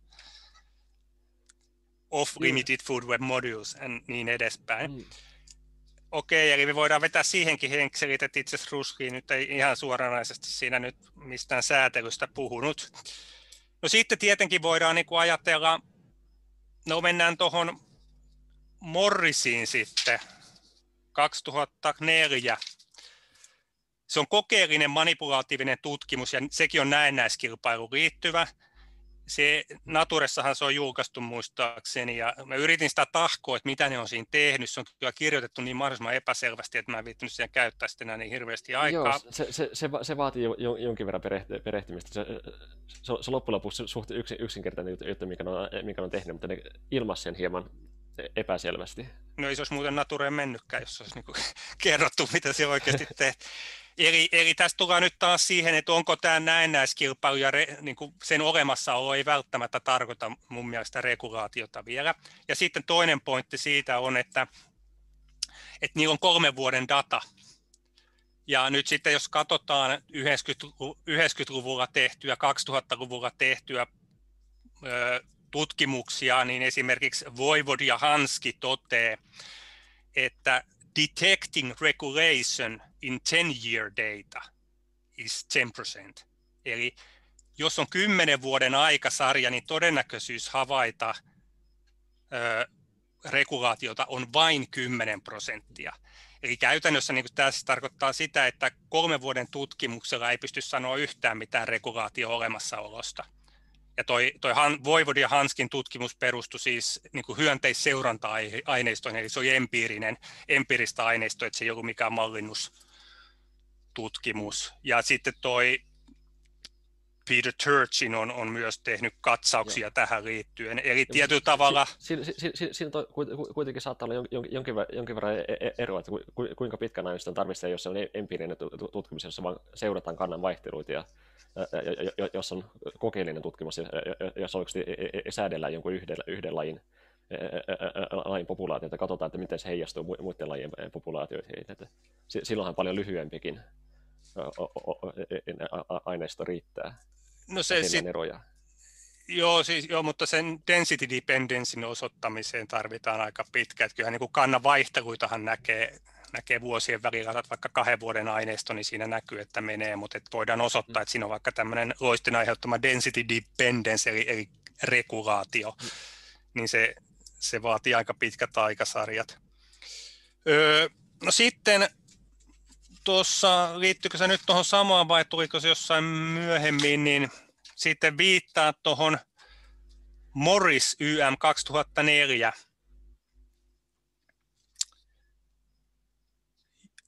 juttuun. No se liittyy tuohon, että, että ovat tärkeitä. No sitten mä katsoin sen Morrisin ja niiden jutun, jossa sitten todetaan, missä he toteaa, että parasitism and predation can be particularly intense in tropics. Eli tämä niin liittyy tuohon sun, ja sä käytit viitteinä Morrisia. No sitten ne Morris ja itse, nehän ei ole tuota tutkinut, vaan ne viittaa siinä Jantsenin 1970 julkaisuun. Ja Jantsenhan ei tutkinut loispistiäisiä, vaan siemensyöjiä, josta hän käytti mm. host-specific plant parasites and predators. Eli se käytti niin kuin siemensyöjistä termejä parasite ja predator. Mm. No, tämä ei ole tietenkään sun, sun vika, että Morris YM viittaa niin kuin Juu. Parasit, käyttää parasitismi- ja predaatiotermiä niin kuin virheellisesti, kun katsoo, että kun he puhuu omassa työssään loispistiäisistä ja isännistä, niin ne viittaa Jantseniin virheen, mutta tässä on nyt no, ehkä... Se, se, se, sinänsä se, se ehkä, ehkä on ihan täysin virheellistä, mutta se on, se, on, se on kyllä harhaan johtava, että ilmaisee vain, että samansuuntaisia tuloksia löydetty toisella, toisella porukalla, että voisi olettaa, että samansuuntaiset asiat pätee me, meidänkin porukkaan, niin siinä on, tehdään kyllä aika lailla oletuksia. Ja ja tietyllä tavalla toi, kun mä otin tuon kääpä esimerkin äsken, niin sehän osoitti, että se on, ei välttämättä pysty yleistämään, jos mennään mm. vaikka tuottajaperusteisesta ravintoverkosta hajottajaperusteiseen ravintoverkkoon. Ja itse asiassa Jantsenillahan ei siinä ollut juuri mit, tota, ollut mitään empiiristä dataa juuri siinä paperissa, vaan hän teki tämmöisen käsitteellisen mallin siinä, jo loi yleistyksiä ja hypoteeseja. Mutta tämä nyt, ehkä nyt tuli tota, ö, käytyä läpi, että nämä on, on herkkiä asioita, tämä viittaukset, ja helposti, helposti mm. alkaa elämään niin kuin omaa elämäänsä. No joo, sitten tota, jätetään nyt noin taakse, ja sä mainitset samalla sivulla tämän indikaattori roolin Loisella. Joo. Mikä, siis onko siitä jotain tutkimusta vai onko se vain tämmöistä järkeilyä? Se, se, se, se, on, se on ainoastaan, ainoastaan järkeilyä. Se, se, semmoista, mistä mä oon oikeastaan, oikeastaan järkeitä ajatellut, että siinä ehkä mennään lupaamaan vähän enemmän kuin, enemmän kuin mikä oikeasti pitää paikkaansa. Että loispisteiset olisi periaatte, periaatteessa ihan käyttökelpoisia indikaattorilajeja, eli, eli voisi selvittää, että mitä tapahtuu loispisteäisten kannoilla, ja siitä voisi päätellä, että mitä tapahtuu yleisemminkin siinä, siinä metsässä tai sillä alueella muussa lajistossa, mutta ongelma tuossa on, on, se, että niitä, niitä loispisteisten kannat on, on niin pieniä ja niiden kannan vaihteluiden selvittäminen vaatii niin hirveästi työtä, että eihän se käytännössä ole mikään, mikään hyödyllinen indikaattorilaji, indikaattorilaji. Että jos multakin kestää vuoden selvittää, että miten, miten jotenkin ugandalaisten pisteisten kannat on vaihdellut, niin, niin eihän semmoinen vuoden työ, työ, työ sitten vielä käsittelytyö sen jälkeen, jälkeen mitenkään, mitenkään anna mitään, mitään reaaliaikaista indikaatiota ainakaan. Mistä. Joo, ja sitten kun sä mainitsit tuossa, että et, et se, että niillä olisi indikaattoriarvoa niin kuin käytännössä, niin sehän tarkoittaa sitä, että meidän pitäisi havaita niiden populaatiokoossa tai esiintymisessä muutoksia ennen kuin me havaitaan ne vaikka mm, isäntälajeissa mm, tai muissa. Ja, ja käytännössä se tulee menemään just, just toisinpäin, että ne, ne isäntälajit on paljon yleisempiä siellä metässä ja ne, ne, ne, nehän tullaan huomaamaan en, en, ensinnä. Joo. Mä itse joskus omassa väikkärin jälkeen spekuloin sitä, että kun on tämmöinen vaikka kääpä, perhonen, loinen, hyperloinen systeemi, niin voisi niin kuin käyttää se metsän tilan ehkä luonnontilaisuuden indikaattorina. Kun omassa tutkimuksessani hmm. havaitsin, että ne, ne hyperloiset ja loiset puuttu sitten semmoisesta edistyneeltä metsälaikuilta, niin siinä mielessä voisi tietenkin ajatella, että, että jos jossain metsikössä nyt on näitä vaikka näitä porapistiäisiä, niin se voisi kertoa sen metsän historiasta, mm. vaikka jatkumosta tai luonnontilaisuudesta Joo. jotain. Joo, sa- sa- sa- samoin kuin, kuin mä Ugandassakin huomasin, että niitä porapistiäisiä oli, oli niitä juuri siinä koskemattomassa metsässä. Ja jopa häirityssä metsässä oli, oli vähemmän, vaikka se häiri oli oli suht lievä ja oli 60-luvulla, mikä tropiikissa on, on iäisyys, iäisyys sitten. Niin se, se, semmoisissa asioissa se ehkä pystyy, pystyy mutta semmoisena yleisenä indikaattorina, indikaattorina voisi käyttää kaikki tarkoituksiin, niin ei, ei kyllä loispisteessä kelpaa kovin hyvin lainkaan. No joo, eri, eri. Jos mietitään sitä niin kuin, oikeastaan tästä jatkoa, eli tuota uhanalaisuutta ja loispistiäisten niin uhanalaisuutta, niin usein väitetään, että loispisteiset on erityisen alttiita ympäristömuutokselle, mitä säkin vähän otit esiin, koska niiden populaatiokoot on pieniä ja ne on riippuvaisia isännästään. No se on totta, että ne on riippuvaisia mm. isännistään. Mutta et, et, milloin, onko niiden populaatiokoot väistämättä pieniä? No, ei, ei, ei, väis, ei väistämättä, mutta y- yleisesti ottaen vaikuttaa sieltä, että useimmien populaatiot on pieniä, tai ainakin, että, että niitä pisteisiä tulee, tulee suhteellisen vähän pyydyksiin, pyydyksiin per, per, per mikään laji. Sinne, mistä jostain verhoslajista saattaa, saattaa tulla pyydykseen 20 yksilöä tai 30 yksilöä, niin saattaa olla, että jostain pisteeslaista tulee vain yksi ainut yksilö. Ja se, sehän viittaa siihen, että niiden populaatiokoot on todennäköisesti pieniä. Joo, ja varmaan, varmaan juuri sitten, että harvoinhan niin pedon tai loisen populaatiokoko voi olla isäntäänsä suurempi. Ajaisi isäntänsä sukupuuttoon. Mutta tietenkin tuohon nyt varmaan liittyy sitten osittain se, että tietenkin, että jos loislaji on generalisti, niin silloinhan se populaatiokoko pystyy olemaan periaatteessa niin kuin suurempi kuin jos olisi kyse vain spesialistilajista, joka käyttäisi yhtä. Ahmaspisteellä ainakin on aika yleistä, että, ne, että jopa ne generalistilajitkin, niin ne loisi ehkä No, no me, ei, me ei tiedä tarkkaan, mutta ehkä jotain 10 lajia, 20 lajia korkeata, että puhutaan semmoista mittaluokasta jopa niille oikein generalistilajeille. Se, semmoista, semmoista lajia, joka, joka söisi satoja isäntälajeja, niin se, semmoisia, joita ei juurikaan tuntea. Joo, sit, joo. Ja nyt sitten oikeastaan tämä liittyy nyt tuohon aikaisempaan asiaan, jos kirjoitat, että rahopuu on tropiikissa niin kuin lyhytaikainen resurssi, tai, tai on, hmm.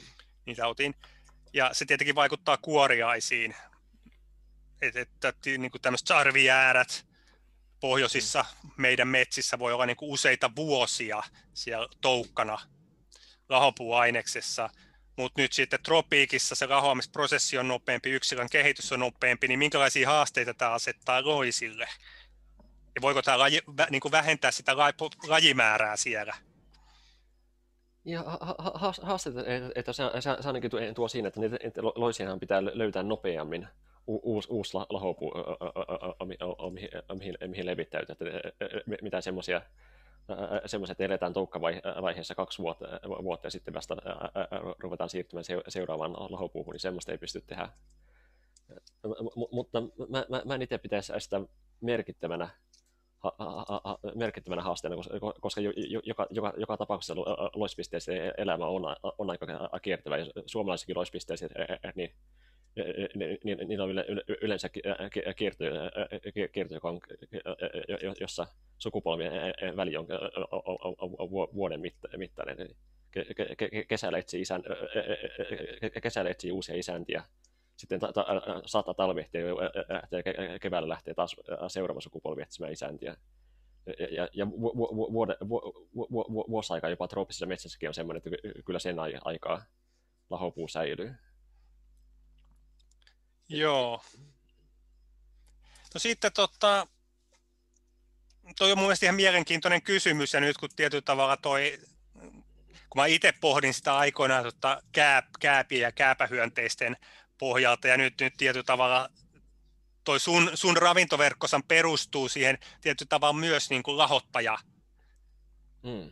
Ravintoverkkoon, ja siinä on niin kuin pikkasen semmoista samaa elementtiä, että ne, onko ne lahopuukuoriaiset sittenkään niin runsaita, ja sitten se seuraava trofiataso oli loiset, että en tiedä, että tätä voitaisiin mm. joskus miettiä yhdessäkin, että voisiko tätä jopa niin kuin testata tätä hommaa. Mutta anyway, niin... Ra- ra- rahdattaisiin Ugandasta kokona- kokonaan e- e- lahopuurun kanssa, DNA testattaisiin kaikki, mikä sieltä löytyy, selvitetään, että kuinka paljon niitä lajeja siellä oikeasti on. No nimenomaan, tähän odotetaan, että korona on ohi. Niin. Mutta ehkä nyt sitten tähän niin kuin paikoin kirjoitat sivulla 11 muun muassa, että extensive sampling casts doubt on the anomalous inverse latitudinal species richness gradient. Öö, mutta tietyllä tavalla toihan nyt ei, on vähän semmoinen niin kuin fraasi, että osoittaako sun tutkimuksessa nyt itse asiassa tota, Mun tutkimus ei, ei, ei, ei, ei osoita, että, että, että tropiikissa olisi enemmän, enemmän, lajia, enemmän lajia, mutta, mutta se kuitenkin osoittaa, että kuinka tärkeää tropiikissa on saada riittävän suuren otosko, otoskoon. Tässä mun väikkärissä mä vertasin ugandalaista tutkimusaluetta amazonilaisen tutkimusalueeseen, katsoin, että miten niiden lajimäärät vertautuu. Ja, ja, ja ne otoskoot, mitä mulla oli vuoden otostuksen jälkeen, ne oli just, just riitti siihen, että pystyi hieman arvioida, että kuumassa on enemmän lajeja. Ja, ja, ja kaikki, kaikki nämä arviot siitä, että loispisteessä olisi, olisi verraten, verraten vähän tropiikissa tai verraten vähän lajeja, niin ne on perustunut merkittävästi pienempiin otoskokoihin. Joo. Niin se, se on enemmänkin esimerkki siitä, siitä että otoskoot ei ole riittäviä. Me, me ei voida sanoa juuta eikä, eikä eitä siihen, että onko siellä tropiikissa enemmän lajeja vai vähemmän lajeja. Joo, no ehkä tota, se, se kun mulle jäi niin kuin tästä väitöskirjasta, kun niin kuin, jäi semmoinen niin kuin narratiivi meni koko ajan taustalla, että se, että se reverse pattern on wrong, wrong, wrong. Ja, ja sitä tietyllä tavalla niin tuli Juh. näistäkin, että sit, niin kuin näistä ja sun julkaisuista vähän tämä sama. Se, Joo, se, se, se kyllä pa, pa, paistaa, paistaa, paistaa lävi, lävitse se asenne, koska tätä ei ehkä pitäisi sanoa, sanoa näin suoraan, mutta useimmat loispisteiset tutkijat on, on kyllä melko vakuuttuneita siitä, siitä että on, on niitä trooppisia lajeja merkittävästi enemmän kuin lauhkeilla vyöhykkeillä, mutta me, me, meillä on vaan saatu sitä todistettua. Ja, ja, jo, jo, jo, jo, jos, joskus se asenne kyllä paistaa läpi, ja toivottavasti ei paista läpi tuloksiin myöskin, koska en tietysti ei pidäkään paikkaansa, niin ei välttämättä huomattaisikaan. Niin, no tässä on mun mielestä hyvin osoittaa, niin kuin, että mitä tarkoittaa tieteellinen niin kuin paradigma tai, tai konsensus. Eli se hirveän vahvasti on se käsitys ja ka- kaikkia tuloksia tulkitaan niin kuin mm. niiden lasien läpi. Ja niin kuin mä katsoin tuosta, että periaatteessa jos katsotaan tätä reverse pattern is wrong narratiivia on pyöritelty 30 vuotta suunnilleen, että siellä on Gaud muun muassa mm. 90-luvun alussa, Sääksjärvi sitten perää, Gomez Turussa väitöskirjan tehnyt, ja se on nyt sullakin mukana tässä. Että tota, mutta varmaan se on se klassinen johtopäätös, että lisää tutkimusta tarvitaan sitten, Juu. että saadaan totuus. Paljon, paljon lisää tut, tutkimusta tarvitaan. Että sitten, sitten jos, jos, jos tämän saman pyydystyksen tekisi kuin mitä, mitä mä oon tehnyt Ugandassa, niin sanotaan, että kymmenellä alueella kullakin mantereella, mantereella, tai ehkä 20 aluetta kaikilla mantereilla, Afrikassa, Euroopassa, kaikkialla, niin sitten, sitten, sitten ehkä päästä sanomaan, että missä niitä lajeja oikeasti on enemmän kuin, kuin muualla. Eli lisää tutkimusta ja lisää rahoitusta tarvitaan. Joo, nimenomaan rahaa. No niin, mennään sitten tota, malaiseen, eli menetelmäosioon. Ja hyvä, että käytit niin kuin samankaltaisia pyydyksiä ja iso otoskokoa. Se on aina hyvä. No sitten kirjoitat kuitenkin, tota, että, että tarvitaan suuri määrä pyydyksiä, malaisia, mutta että et saadaan jonkinlaista luotettavaa kuvaa, mutta sitten toisaalta kirjoitat myös, että malaiset antavat hyvin erilaisia tuloksia samasta mm. habitaatista. No onko se silloin niin kuin hyvä menetelmä, jos se antaa samasta habitaatista hirveän erilaisia tuloksia? Ja ainahan semmoinen menetelmä, joka antaa, antaa tismalleen samat tulokset, tulokset riippumatta habitaatista, samassa habitaatissa olisi mieluisampi, mutta käytännössä semmoista menetelmää ei ole olemassakaan.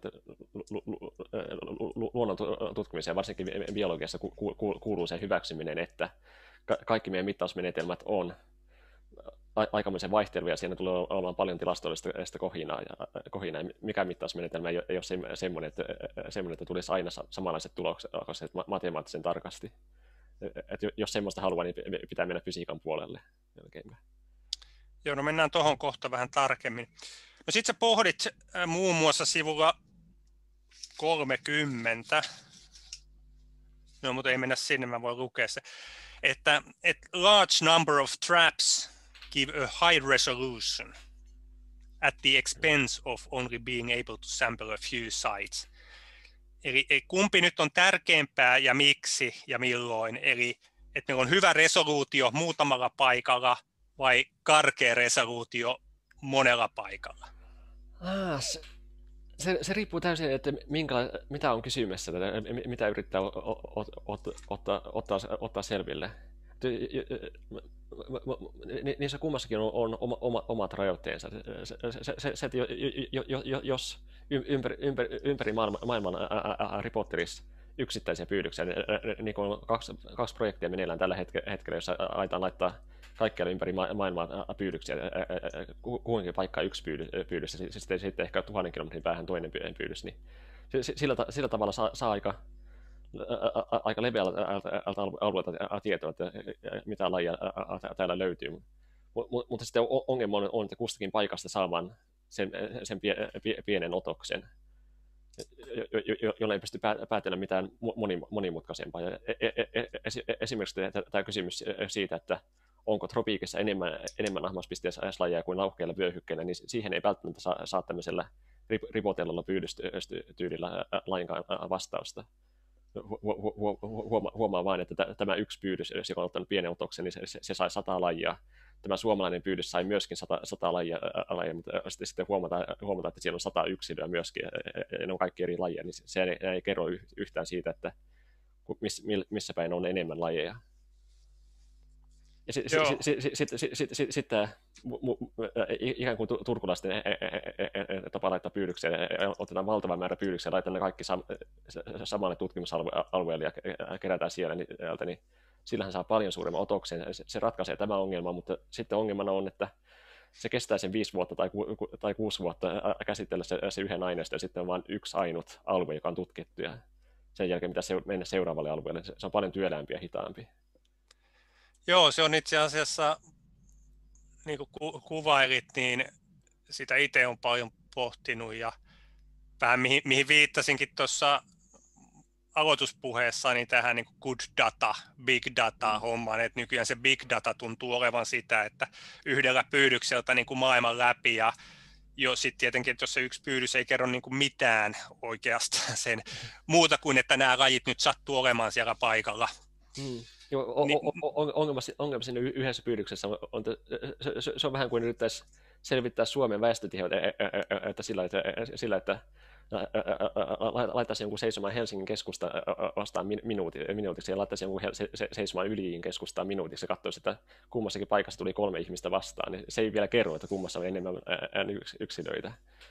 Mutta ne, ne itse tykkäisi siitä, kun tuommoisen No tota, No mitä sä tarkoitat nyt niin kuin se toi good resolution?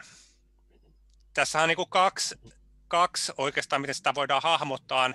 Onko tuttuja termit accuracy ja precision? Onko tuttu se ero, mikä niillä on? Ei, ei ole tuttu ero. No laitetaan tota, ootas nyt jakoon taas.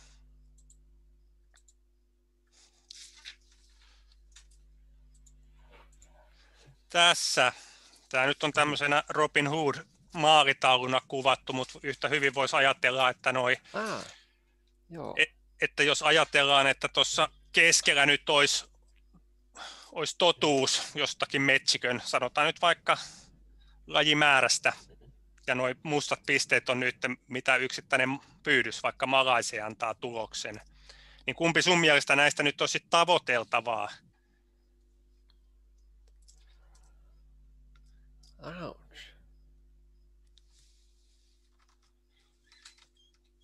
Ja onko malaise niin kuin jotenkin toisessa näistä erityisen hyvä ja toisessa ei?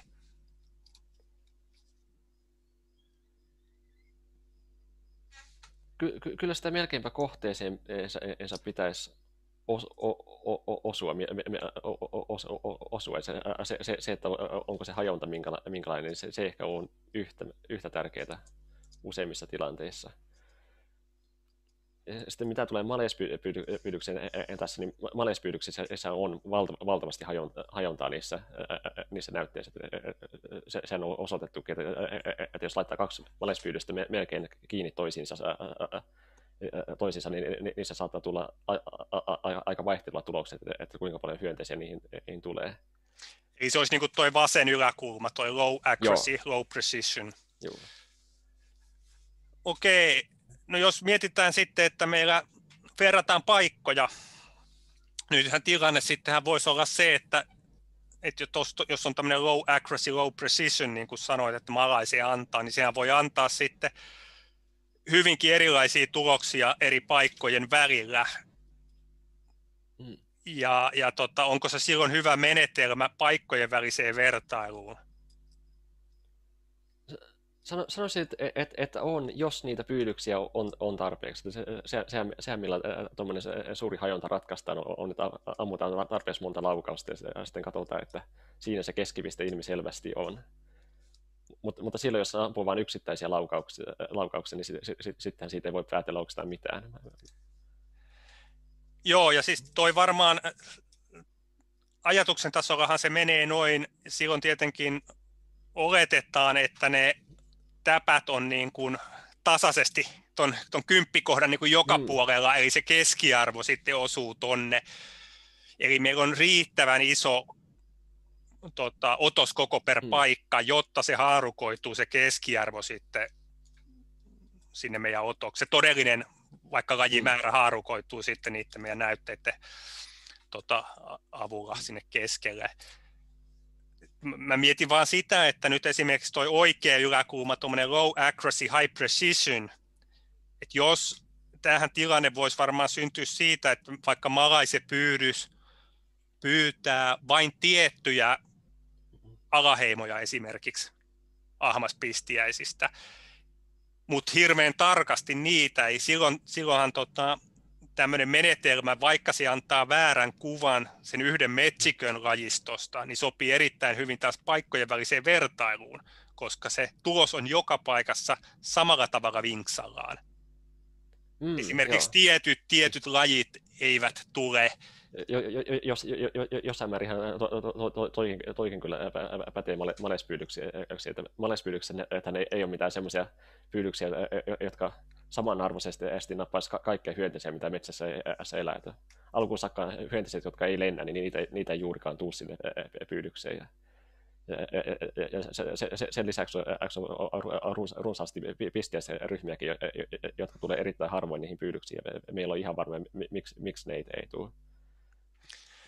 Ja silloinhan tiety, useinhan tämmöisessä yhteisötutkimuksessa sit jätetään niin kuin ne yksittäiset havainnot, siis yksi yksilö ja kaksi yksilöä pois juuri sen takia, että voidaan ajatella, että ne ei ehkä ole semmoisia lajeja, jotka saadaan tuolla käytetyllä mm. menetelmällä, mikä se sitten onkaan. Mutta se on taas sitten arvuttelua, se voi yhtä hyvin olla, että ne on oikeasti harvinaisia. Että... Vähän niin kuin, niin kuin se mun yksi uusi, uusi, uusi laji, eli Epiryssä Johanne, josta on se yksi naaras olemassa. Et eihän e, e, me tiedä, että miksi siitä on yksi ainut naaras kokonaisen vuoden, e, vuoden pyydystyksen aikana tullut. Onko se oikeasti harvinainen siellä? Lentääkö se jossain semmoisessa metsätyypissä, missä mulla ei ollut pyydyksiä, vai eikö se vain jostain syystä tuu pyydyksiin? Se voi olla mikä tahansa noista kolmesta, me ei voi erottaa niitä toisistaan. Onko, tuleeko sillä jotain mieleen, jos mietitään, että se tota, jotain toista pyydysmenetelmää, mikä voisi olla sen malaisen kaverina, ja vertailla sitten, että tuleeko sieltä erilaista lajistoa. Joo. Jo, jo, jo, jos, jo, jos tavoitteena on vertailla, että tuleeko sieltä toisenlaista laista, niin se, se, se pitäisi melkein, melkein olla saman tyyninen pyydys, eli se, se, semmoinen, joka, joka myöskin nappaa lentäviä hyönteisiä. Onko tämä yksi, mitä, mitä, mitä mä olen trooppista metsää varten miettinyt, on, no, tämä ei edes ole, edes ole eri kuin malespyydys, mutta on olemassa hieman erilainen malespyydys, joka hinataan lat, lat, lat, latvustoon, että sen sijaan, että se on ma, ma, maanpinnassa kiinni, se hinataan, hinataan latvustoon asti. Latvustossa se suuri osa elämästä metsä, sademetsässä oikeasti tapahtuu, niin se, semmoinen latvustosta saadut, saadut aineistot ja maanpinnan saadut aineistot, niin niitä on erittäin kiinnostavaa vertailla keskenään ja katsoa, että ollaanko me vaan saamassa niitä, niitä harvoja lajeja, jotka sattuu poikkeamaan siellä maanpinnan tasolla. M- mutta sitten jos, jos, jos haluaa paljon laajemmista lajistoja kerätä, niin sitten melkein olisi malespyydyssä sinne alle kuoppapyydyssä. Että kaikki ne otukset, jotka heti kun ne osuu siihen malespyydykseen tiputtautuu alaspäin, niin ne menisivät sinne kuoppapyydykseen. Joo, niin nyt itse asiassa niin hieno johdatus seuraavaan kalvoon, nimittäin sama Ways et al. toteaa, että trooppisessa metsässä lahopuu kovakuoriaisten lajimäärä oli korkeimmillaan nimenomaan siellä Latvustossa. Onko se lahopuukuoriaisten? Joo. Hei. Eli, eli nyt eli tota, siellä temperaattisessa vyöhykkeessä, jos muistan oikein, mitä se sanoo, niin ei ollut mitään eroa vai oliko se niin, että jopa siellä niin kuin alhaalla oli eniten hmm. maanpinnan tasolla, mutta tropiikissa se on käänteinen ja nyt, nyt tuun tuohon sun Hetkinen. porapistiäisiin, eli nyt ehdottomasti sun kannattaisi jatkossa sämplätä Latvustosta, koska siellä on enemmän niitä isäntiä, ja sehän voisi nyt ratkaista tämän reverse latitudinal disputin kokonaan. Tota. Mutta miksi ihmeessä niitä on enemmän siellä Latvustossa, kun siellä ei juurikaan lahopuuta nä- näytetty. Ainakin, ainakin Ugandassa heti kun mikä, mikään puu kuolee, niin se lahova puu tippuu heti, heti, heti maahan. Ka- kaikki ne sateet ja myrskyt piskaa ne alas hetkessä. No sitä on, mä en nyt muista, että missä tropiikissa tämä oli tehty, Joo. tämä tutkimus, mutta tota, siis tietenkin siellä on on varmaan niin, että siellä on paljon kituvaa oksaa ja osittain kuivaa oksaa, mm. eli se koko puu ei ole kuollut, eli, eli se voi sitä selittää. Ja... Joo, seuraavaksi suuri määrä latvusta pyydyksiä. Niin, nimenomaan. Itse, itse asiassa silloin, kun mä, mä olin siellä Uganan metsässä, niin joku tutkija tuli ihan, ihan pari, pari viikon vierailulle, sillä oli kaksi latvusta pyydystä mukana. Ihan testinä hinastin sinne ylös. Kyllä yritin katsoakin, että toimiiko toi kuinka hyvin ja kuinka työstä se on, ja että tuommoiset mäkin haluan jonain päivänä. Mutta, mutta niiden sijoittelu sitten käytännössä trooppisessa metsässä on, on ihan tuska, tuskaan taiva, taivaalta, kun se on ma- maanpinnan tasolla erittäin vaikea selvittää, että missä ne hyönteiset oikeasti kulkee, että niitä, niitä pyydyksiä ei voi sijoittaa mihin tahansa, vaan, vaan se, pitää sijoittaa hyönteisten kulkureiteille ja sitten latvustossa, jos vaan ammut jonkun köyden ylös ja yrität saada sen oikeaan paikkaan, niin eihän se tule sijaitsemaan lainkaan siitä kulkureiteillä. Joo. Okei, katsotaan tuo pois tuosta. Mutta joo, nyt me tiedetään, mitä tulet jatkossa tekemään. Öö, mennään tota...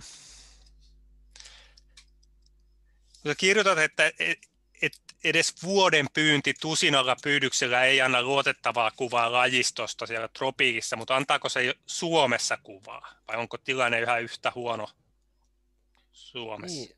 Su- Su- Suomessa tilanne on pa- parempi, mutta, mutta, mutta sanoisin, että Suomessa, Suomessakaan ei, ei kyllä saa ihan joka ikistä lajia, lajia kiinni, vaikka laittaisi saman verran pyydyksiä sama, saman suuruiselle metsäalueelle, niin kyllä Suomessakin jää jotain huomaamatta. Mutta sanoisin myös, että paljon vähemmän kuin, kuin tuolla tropiikissa. Joo. No sitten sivu 18. Ihan lopussa oli toi, käytit opiskelijoita koululaisiakin, niin näiden näytteiden sortteeraamiseen. Kuinka kokeneita nämä oli nämä koululaiset? Joo, useimmilla ei, ei, ei, ei ollut juurikaan kokemusta, eli siinä saatiin semmoinen nopea kouluttautuminen heti alkuun, että näin neulat pistiäisiin, näin tunnistat pistiäisiin ja niin edespäin. Öö. Mutta, mutta hämmentävän nopeasti useimmat sitten myös oppikin se, että tämä hyönteisten perustuntemus, se, se, se, se, se mitä, mitä raketti tiedät, että kuka, kuka tahansa jota kiinnostaa, kyllä se on, oppii aika nopeasti. Joo, no tota, lajikursseja opettaneena, niin, niin kyllä se etenkin sääskien ja luispisteisen erottaminen, jopa jotenkin korentojen erottaminen luispistiäisistä, niin tuottaa aika myöhäisessäkin vaiheessa opiskelijoille vielä ongelmia. Mutta tuota, sä kirjoitat, että, että sä arvioit by, uh, by double checking some samples, että, että kuinka hyvin se meni. Olisiko tässä nyt voinut kerätä jotain dataa ja ihan testata sitä, että kuinka paljon menee väärin?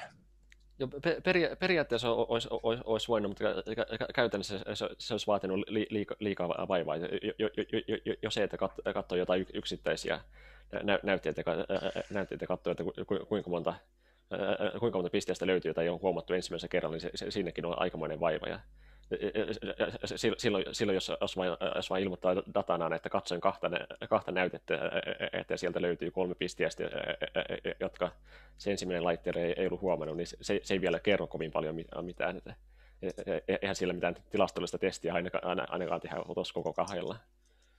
Joo, eli ei sinulla nyt sitten kuitenkaan ole hirveän tarkkaa kuvaa siitä, että kuinka hyvin ne Joo, ei, ei, ei ole hirveän tar- tarkkaa kuvaa, mutta oletuksena kuitenkin on, on että kaikki, kaikki ne muut, muut virhelähteet, mitä kenttätöihin väistämättä liittyy, niin ne, ne on paljon suurempia. Että mä, okay. mä, mä, mähän olen siellä, siellä metä, metä, metässä kanniskellut niitä, niitä purkkeja repussin ja silloin tällöin tiputtanut niitä, kun norsut on käynyt kimppuun ja kaikkea, kaikkea semmoista, niin siihen verrattuna se kysymys, että onko joku, joku oppilas huomenna pisteeseen vai ei, niin se, se on aika minimaalinen virhelähde. Joo, okei. Okay. Öö, no sitten sivulla 19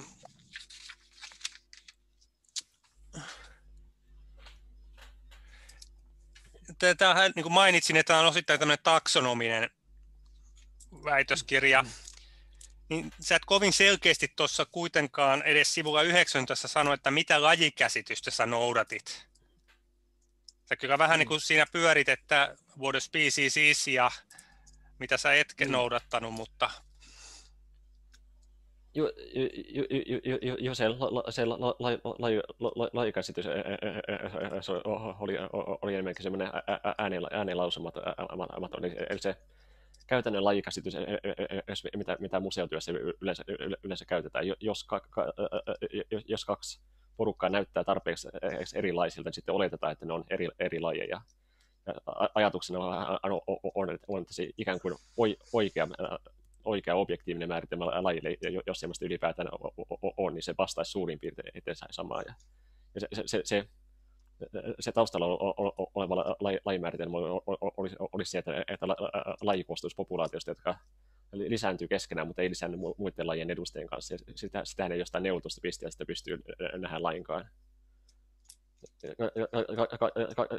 Ja kaikki tämmöiset lajimääritelmät, joissa ollaan katsottu kuolleita hyönteisiä ja yritetty erotella, erotella ne sen mukaan, että näyttääkö ne erilaiselta tai samanlaisilta, ne, ne on aina hypoteesia ja ne, niitä pystyy korjata myöhemmin.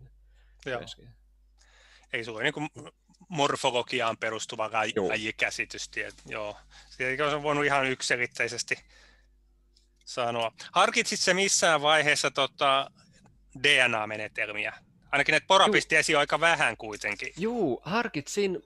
Siihen, siihen liittyy vähän pide, pidempi tarina, mutta ly, ly, ly, ly, lyhyesti ilmastunut haastanut on kaksi syytä, miksi mä en, en, en, en ottanut DNAta väitöskirjan aikana. Ensimmäinen oli se, että ei yksinkertaisesti ollut aikaa, että jo tämän oikein, oikein suuren aineiston käsittelyyn neulaaminen ja morfologinen kattominen, se, se vei kokonaisen väitöskirjan verran aikaa. Ja vähän enemmänkin ottaa huomioon, että mä oon aloittanut väitöskirjan seitsemän vuotta sitten. En, mutta, mutta sitten to, to, toinen syy on, on, on myös se, että, että Ugandassa on, on, aika vaikea tulkintainen lain, lainsäädäntö, mitä, mitä tulee tutkimukseen. tutkimukseen. Mä, mä en vielä väitöskirjan aikana tiennyt, että saanko mä Ugandan lain mukaan ottaa, ottaa näistä näytteistä DNAta vai ei. Että periaatteessa on mahdollista, että, että Ugandan laki kieltäisi, kieltäisi DNAn eristämisen tieteellisistä näytteistä se, on, se on asia, jonka olen vasta selvittänyt ihan, ihan hiljattain. hiljattain. Nyt näyttää siltä, että se on ihan ok ottaa DNAta. Jatkossa mä mennään kyllä eristää niin paljon DNAta noista kuin vain irtoaa. Joo, no se on. Joo, eihän sekään sitten, tu, sitten tulkitaan sekvenssejä, että onko ne riittävän samanlaisia. Mm. Morfologiahan sekin on. Mutta tota, no joo, sitten jos mennään analyysiosioon, tämä on tietenkin mielestäni ihan mielenkiintoisesti rakennettu tämmöisenä yleisenä huomioon, että noin neljäs osa tästä menetelmäosiosta niin on menetelmiä, joita et käyttänyt. Eli, eli perustelet, että miksi et käyttänyt. Mutta ihan hyvä se on tietää, tietää sekin. Mutta sivulla 20, niin öö, otit niin kuin tämän lajimäärän, keskeiseksi vastenmuuttujaksi. Onko se kuinka mielekäs mittari? Se, se, on, se on kuitenkin se, e, e, e, se mistä, mä, mistä mä olen loppujen lopuksi kiinnostunut. Eli haluan tietää, että kuinka paljon niitä lajeja on. Joku käyttää vähän monimutkaisempia indeksejä, diversiteetti-indeksejä ja muita, ja ajattelee, että ne ikään kuin kuvastaa jotain monimuotoisuutta. Ni, niillä on paikkansa, mutta, mutta se, se, se ei ole se, mihin, mistä mä oon tässä työssä kiinnostunut, niin sitten sitä ei myöskään kannata käyttää missään analyyseissä. Sitten loppupeleissä kuitenkin käytit sitä julkaisussa neljä muistaakseni. Mm julkaisussa osa neljä epä, epä, epäsuorasti, mutta se, se on tasaisuusindeksinä. Se, se, se on ikään kuin populaatiokoiden tasaisuusindeksi, joka johdetaan semmoista diversiteetti-indeksistä. Niin, niin joo, jos mä oikein ymmärsin, niin yleensä niitä käytetään synonyymeinä, eli diversiteetti-indeksi yhdistää indeksistä riippuen sen runsausjakauman eli lajien tasaisuuden ja sitten jotkut huomioi siinä enemmän tai vähemmän paremmin sitä kokonaislajimäärääkin. Mm. Et, et, et, ja, mutta, mutta, mutta se, se, se, se, se, se, se mistä tarkoittaa, että, että jos on arvio siitä kokonaislajimäärästä, niin pystyy käyttämään näitä samoja, samoja indeksejä ikään kuin tasaisuusindekseinä, karkeina semmoisina siinä artikkelissa, ne, ne, ne, artikkelissa neljä mä käytin niitä ainoastaan tasaisuusindeksejä, ne, ne, ne sen enempää informaatiota anna. Joo. Et tietyllä tavalla niin ehkä se on vähän jyrkähkösti otettu kantaa tuossa e, summaryssä, eli tietyllä tavalla se lajimäärähän ei kerro sit mitään muuta kuin se lajimäärän, että se on mm. niin kuin y- yhtä lailla, että onko siellä yksi yksilö jokaista lajia vai tuhat yhtä ja muita yksi vai, vai muuta. Joo. Mutta, se, on, se, on, ainakin suuri, joka on kiinnostava itse, itsessään. Jos mä painun nyt vessään ja mulle kerrotaan, että siellä elää 1200 lajia, niin se kiinnostaa mua. Mutta jos, jos mä kerrotaan, että tämän alueen diversiteetti-indeksi on 0,8, niin se ei kerro mulle mitään, se ei ole kiinnostava tieto itsessään. Niin no se, on, se on tietenkin eri asia, että kertooko se mitä ja onko se kiinnostava. Niin kuin kertooko se sulle mitä, onko se kiinnostava. Mä vaan mietin, että onhan, on semmoisia diversiteetti-indeksejä, missä se missä siihen tulee ihan biologinen tulkinta sinne luvuille ja se onnistuu ihan muutamalla muunnoksella. Esimerkiksi mitä se tarkoittaisi yhteisössä, mm. jossa jokaista lajia olisi yhtä paljon. Koska toi, kyllähän niin kuin, lajimäärässähän on sitten omat ongelmansa, sehän on äärettömän herkkä herkkä tota, otoskoolle, mm. Joka on taas teema, mitä sä pyörität koko tämän, tämän jutun tai tämän väitöskirjan läpi, että et pitää olla riittävän isot otoskoot ja sitten välillä säkään et saanut sit kuitenkaan paljon yksilöitä. Ja... Mutta joo, ei, ei ole mitään, en, en sano sitä, että se on väärin tai että se olisi niinku huono ratkaisu, vaan ehkä sitä, että, että tota, erilaisilla mittareilla, indekseillä, niin saadaan vähän erilaista kuvaa siitä. Kuvaa siitä. No sitten tuota sivu 22.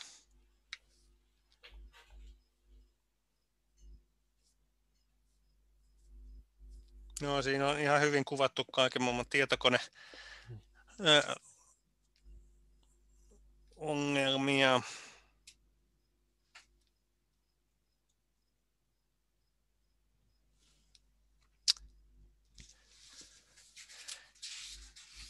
Ootas mä katon missä.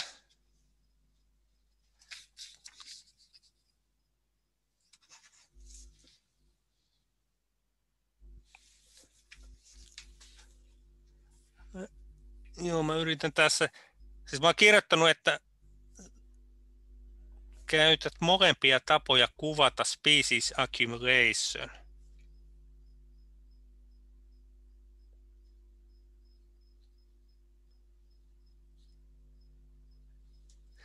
Niin joo, liittyykö nyt tähän, että tietyllä tavalla niin sitten nämä akkumulaatiokäyräthän nyt tietyllä tavalla niin kuin sitten huomioi sen, se lajien runsausjakauman siellä takana. Eli se, että kuinka niin. jyrkästi ne nousee ja kuinka jyrkästi ne ei nouse, niin sehän, sehän vaikuttaa se, että, että mikä siellä on se lajien runsausjakauma. Joo, että epä, epäsuorasti mä, mä, mä, mä tuossa ikään kuin käytän kyllä, kyllä diversiteetti-indeksiä. Se, niin, se, se, se, se, se, mistä mä oon kiinnostunut kuitenkin, että kummassa on enemmän lajeja. Mun näkökulmasta se niiden populaation koko ajan tasaisuus, niin se on vain häiri, häiritsevä tekijä siinä taustalla. Joo, okei. Okay. Joo.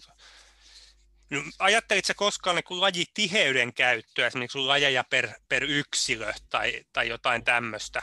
Kokonaisyksilö, lajeja per kokonaisyksilömäärä tai jotain tämmöistä?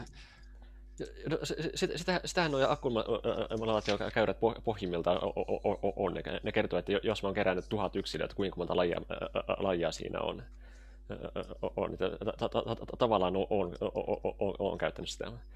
Mutta, mutta, mutta sitten se, se, semmoinen, että, semmoinen yksinkertainen mittari, että ottaisi tarkalleen 100 yksilöä ja katsoisi, että niitä on 10 lajia ja sanoisi, että tässä on 0,1 lajia per yksilö, niin se, sehän ne tulee antamaan aika harhaanjohtavan vastauksen, kun se toimii ainoastaan silloin, jos ottaa tismalleen sen 100 yksilöä. yksilöä. Joo.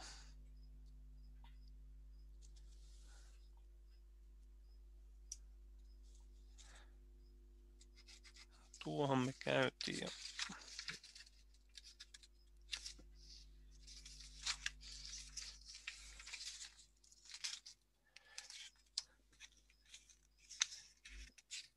Katoitsa tuossa, sitten sulla on täällä sivulla 33, niin on tämä akkumulaatiokäyrä, ja jos mä oikein ymmärsin, niin onko tämä nyt ihan tämmöinen hypoteettinen käyrä vai perustuuko tämä sun omaan aineistoon? 33. Tämä on ihan hypo, hypo, hypoteettinen, hypoteettinen käyrä. Muistaakseni mä yritin, yritin laittaa sen edes jokseenkin realistiseksi, mutta mä, mä, mä halusin tehdä siitä mahdollisimman yksin, yksinkertaisen kuvaavan, niin siinä, siinä ei ole mitään oikeaa tausta-aineistoa. Okei. Okay. Miten sitten, miten tämä muuttuu, jos sä käytät tätä yksilömäärää X-akselilla, niin ja perusteletkin sitä vähän, että mik, miksi haluat käyttää, mutta miksi et käyttänyt, tai ker, mitä se kertoisi, jos sulla olisi se, vaikka pyydysten määrä tuossa X-akselilla? Kertoisiko se eri asia? Ja po, po, pohjimmiltaan samansuuntaista asiaa se kertoisi, että jos keräät tietyn määrän, kuinka monta lajia, lajia saat saaliiksi. Mutta silloin kun on näytteiden, näytteiden määrä x-akselilla, niin siinä on se ongelma, että malespyydyksellä varsinkin niin nehän näytteet vaihtelee hirveän paljon. Että yhdessä näytteessä saattaa olla 10 pisteestä, toisessa saattaa olla 200 tai 1000 yksilöä. Silloin, silloin tästä tulee aika ros, ros, rosonen kuva vähintään. Joo, sehän varmaan toisaalta se niin kuin myös paljastaisi sen, sen aineiston luonnetta.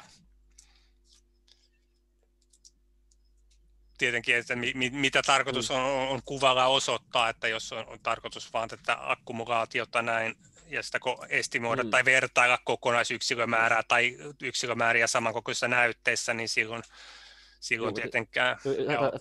Tämä yksilömäärä on, on, on, on kyllä me, me, me parempi silloin, silloin, jos yrittää selvittää, että onko kummalla alue, alueella en, enemmän, enemmän, enemmän lajeja.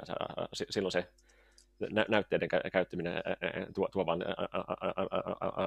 lisää vaihtelua siihen. Mutta se, se riippuu tietysti siitä, että mikä se kysymys on. Että jos kiinnostuksen kohteena olisi kysyä, että jos minä menen nyt viien pyydyksen kanssa Kaakkois-Aasian pyydystymään, niin kuinka monta lajia voisin odottaa, odottaa saavani vuoden aikana, niin silloinhan se näytte, näytteiden käyttö X-aksille antaisi ihan kiinnostavaa tietoa. No joo, tota, miten tässä, nyt pidän vaan tämä kuva, niin nyt jos olisi semmoinen kaksi yhteisöä, josta toinen olisi semmoinen tasaisen runsas, kaikkia lajeja suunnilleen yhtä paljon, ja toinen olisi hirveän tota, käy, käyrä, jos muutama dominantti laji ja sitten olisi, olisi pitkä häntä harvinaisia, niin miten se näkyy tämän käyrän muodossa? Joo, se, se, se, se, se jos on oikein tasa, tasaiset jakaumat, niin, niin että kutakin lajia on suurin piirtein yhtä monta yksilöä, niin se, se kasvaisi paljon, paljon nopeammin. nopeammin nousisi tänne ylös varmaan aikaisemmin.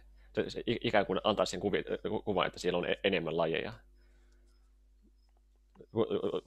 Kun, kun taas jos ottaa sellaisia ääriesimerkkejä, että, että olisi että olisi yksi erittäin, erittäin yleinen, yleinen, yleinen laji sitten erittäin harvinaisia lajeja muut, niin sitä voisi kerätä vaikka tuhat, yksi, tuhat yksilöä, niin päätyisi sitä, ja silti olisi kaikki sitä yhtä lajia, niin se jäisi tänne ihan alas matalalle.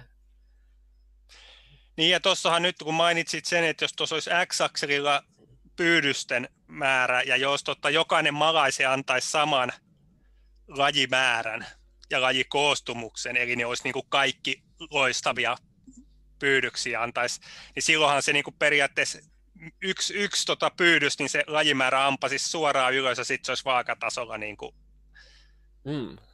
E-, eli tietyllä tavalla niin semmoinen hyvin niin kuin jyrkästi nouseva ja sitten pitkä tasottuminen, jos malaisepyydys tai yksittäiset pyydykset pyytäisi samalla, samanlaista lajistoa samalla effortilla samalta paikalta. Et, et siinä mielessä niin kuin, tämä käyrä, jos tuolla on trapit, x niin kertoo juuri tästä, että miten se pyydys myös toimii. Okei. Mennään sitten papruun yksi.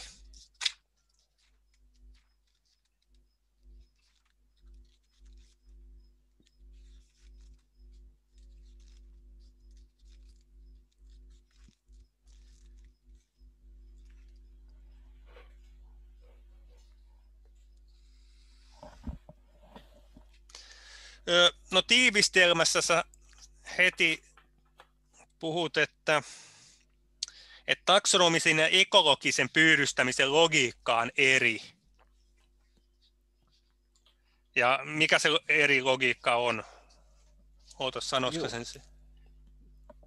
Oh, joo, joo, no sä sanot sen tuossa, että... Joo, me, me, me, me, me, melko, melko lailla sen, että taksonomisessa pyydystymisessä on tarkoitus vaan saada mahdollisimman paljon lajia, ja se on aika saman tekevää, että mistä metsätyypistä ne, ne, ne tulee, kunhan niitä tulee paljon. Ja sitten ekologisessa, jos, jos haluat tehdä jotain ekologisia analyysiä, niin sitten pitäisi vähän katsoa, että missä se pyydys on, minkälaista metsätyypistä, saada vähän edustavampi otos asialle. No sitten tota, miten pyydysten siirtäminen edistää sitten ekologista tutkimusta? Se, se, se, se, se, se, vaan antaa mahdollisuuden kerätä pisteisiä useammalta, useammalta paikalta. Tuo, tuo, tuo, tuo trooppinen metsä varsinkin on sellainen, että, siellä on ihan valtavan paljon erilaisia ikään kuin, ikään kuin metsä, metsätyyppejä. Saattaa olla se, se laisto, laiste voi, voi olla aika, aika erilainen, niin e, e, erilainen yhdessä, yhdessä paikassa kuin toisessa paikassa, joka on vain 20 metrin päässä tai 100 metrin päässä ja näyttää jopa, näyttää jopa saman, samanlaiselta kasvillisuudelta. Niin silloin, mitä, mitä useammalta alueelta kerää, sitä, sitä paremmin saa edustavan otoksen siitä metsätyypistä. Mutta eikö se tota, nyt sit, mitä äsken kuvailit, niin toihan tarkoittaa sitä, että tavoite olisi maksimoida niin kuin lajimäärää. Eli niin kuin taksonomisen tutkimuksen. Tavoitteena enemmänkin maksimoida se, että kuinka monta eri metsätyyppiä tulee, tulee tulee, käyneeksi läpi. läpi. sen, sen sijaan, että, että pyydykset on 30 eri paikassa, niin saadaan kerättyä 80 eri, eri paikasta asti vähän vaihtelemaan niitä metsätyyppejä. Hyvinkin saattaa olla, että siellä metsässä on vähintään 80 erilaista metsätyyppiä, niin sitten mahdollisuus, että on kerätty kaikista metsätyypeistä, mitä siellä metsässä löytyy. Mutta lisääkö se ekologista vertailtavuutta, jos tiet, vakiopyydysmäärä leväytetään niin kuin mahdollisimman laajalle Aa. heterogeeniselle alueelle?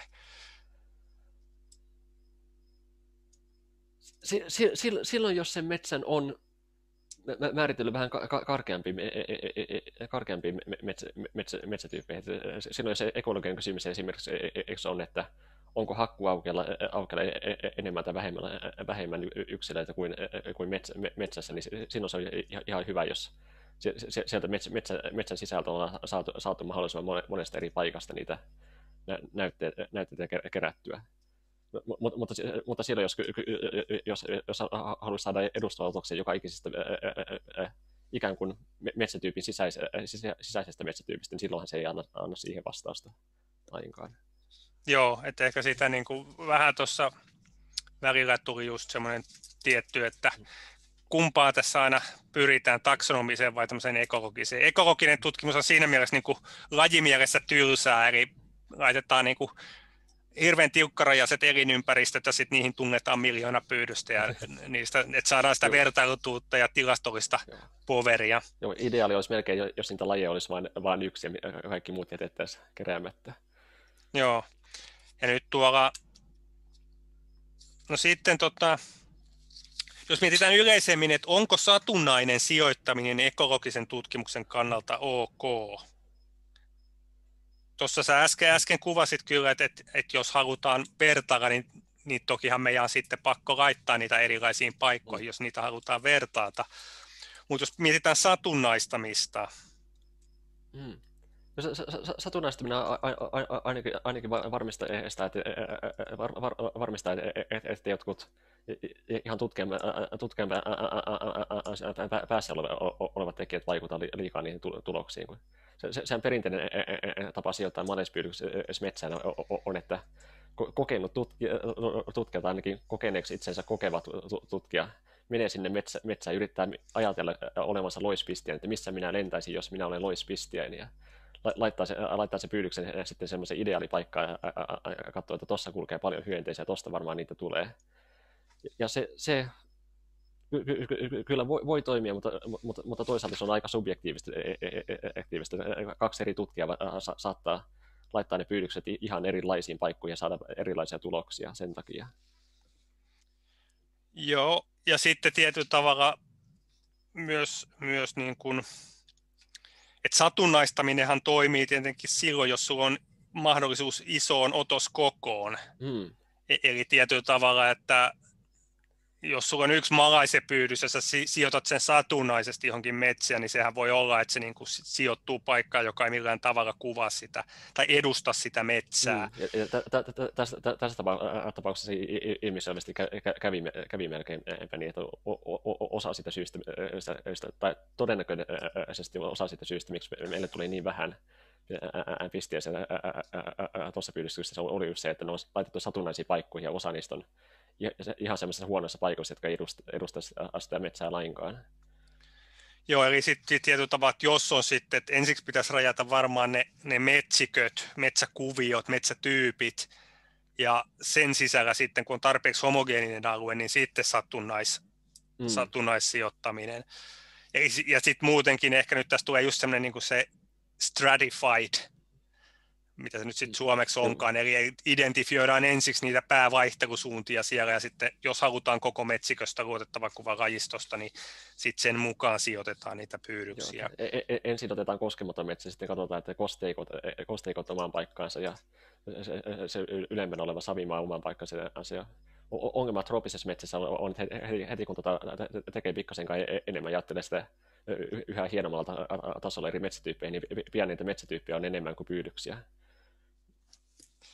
Joo, olen samaa mieltä.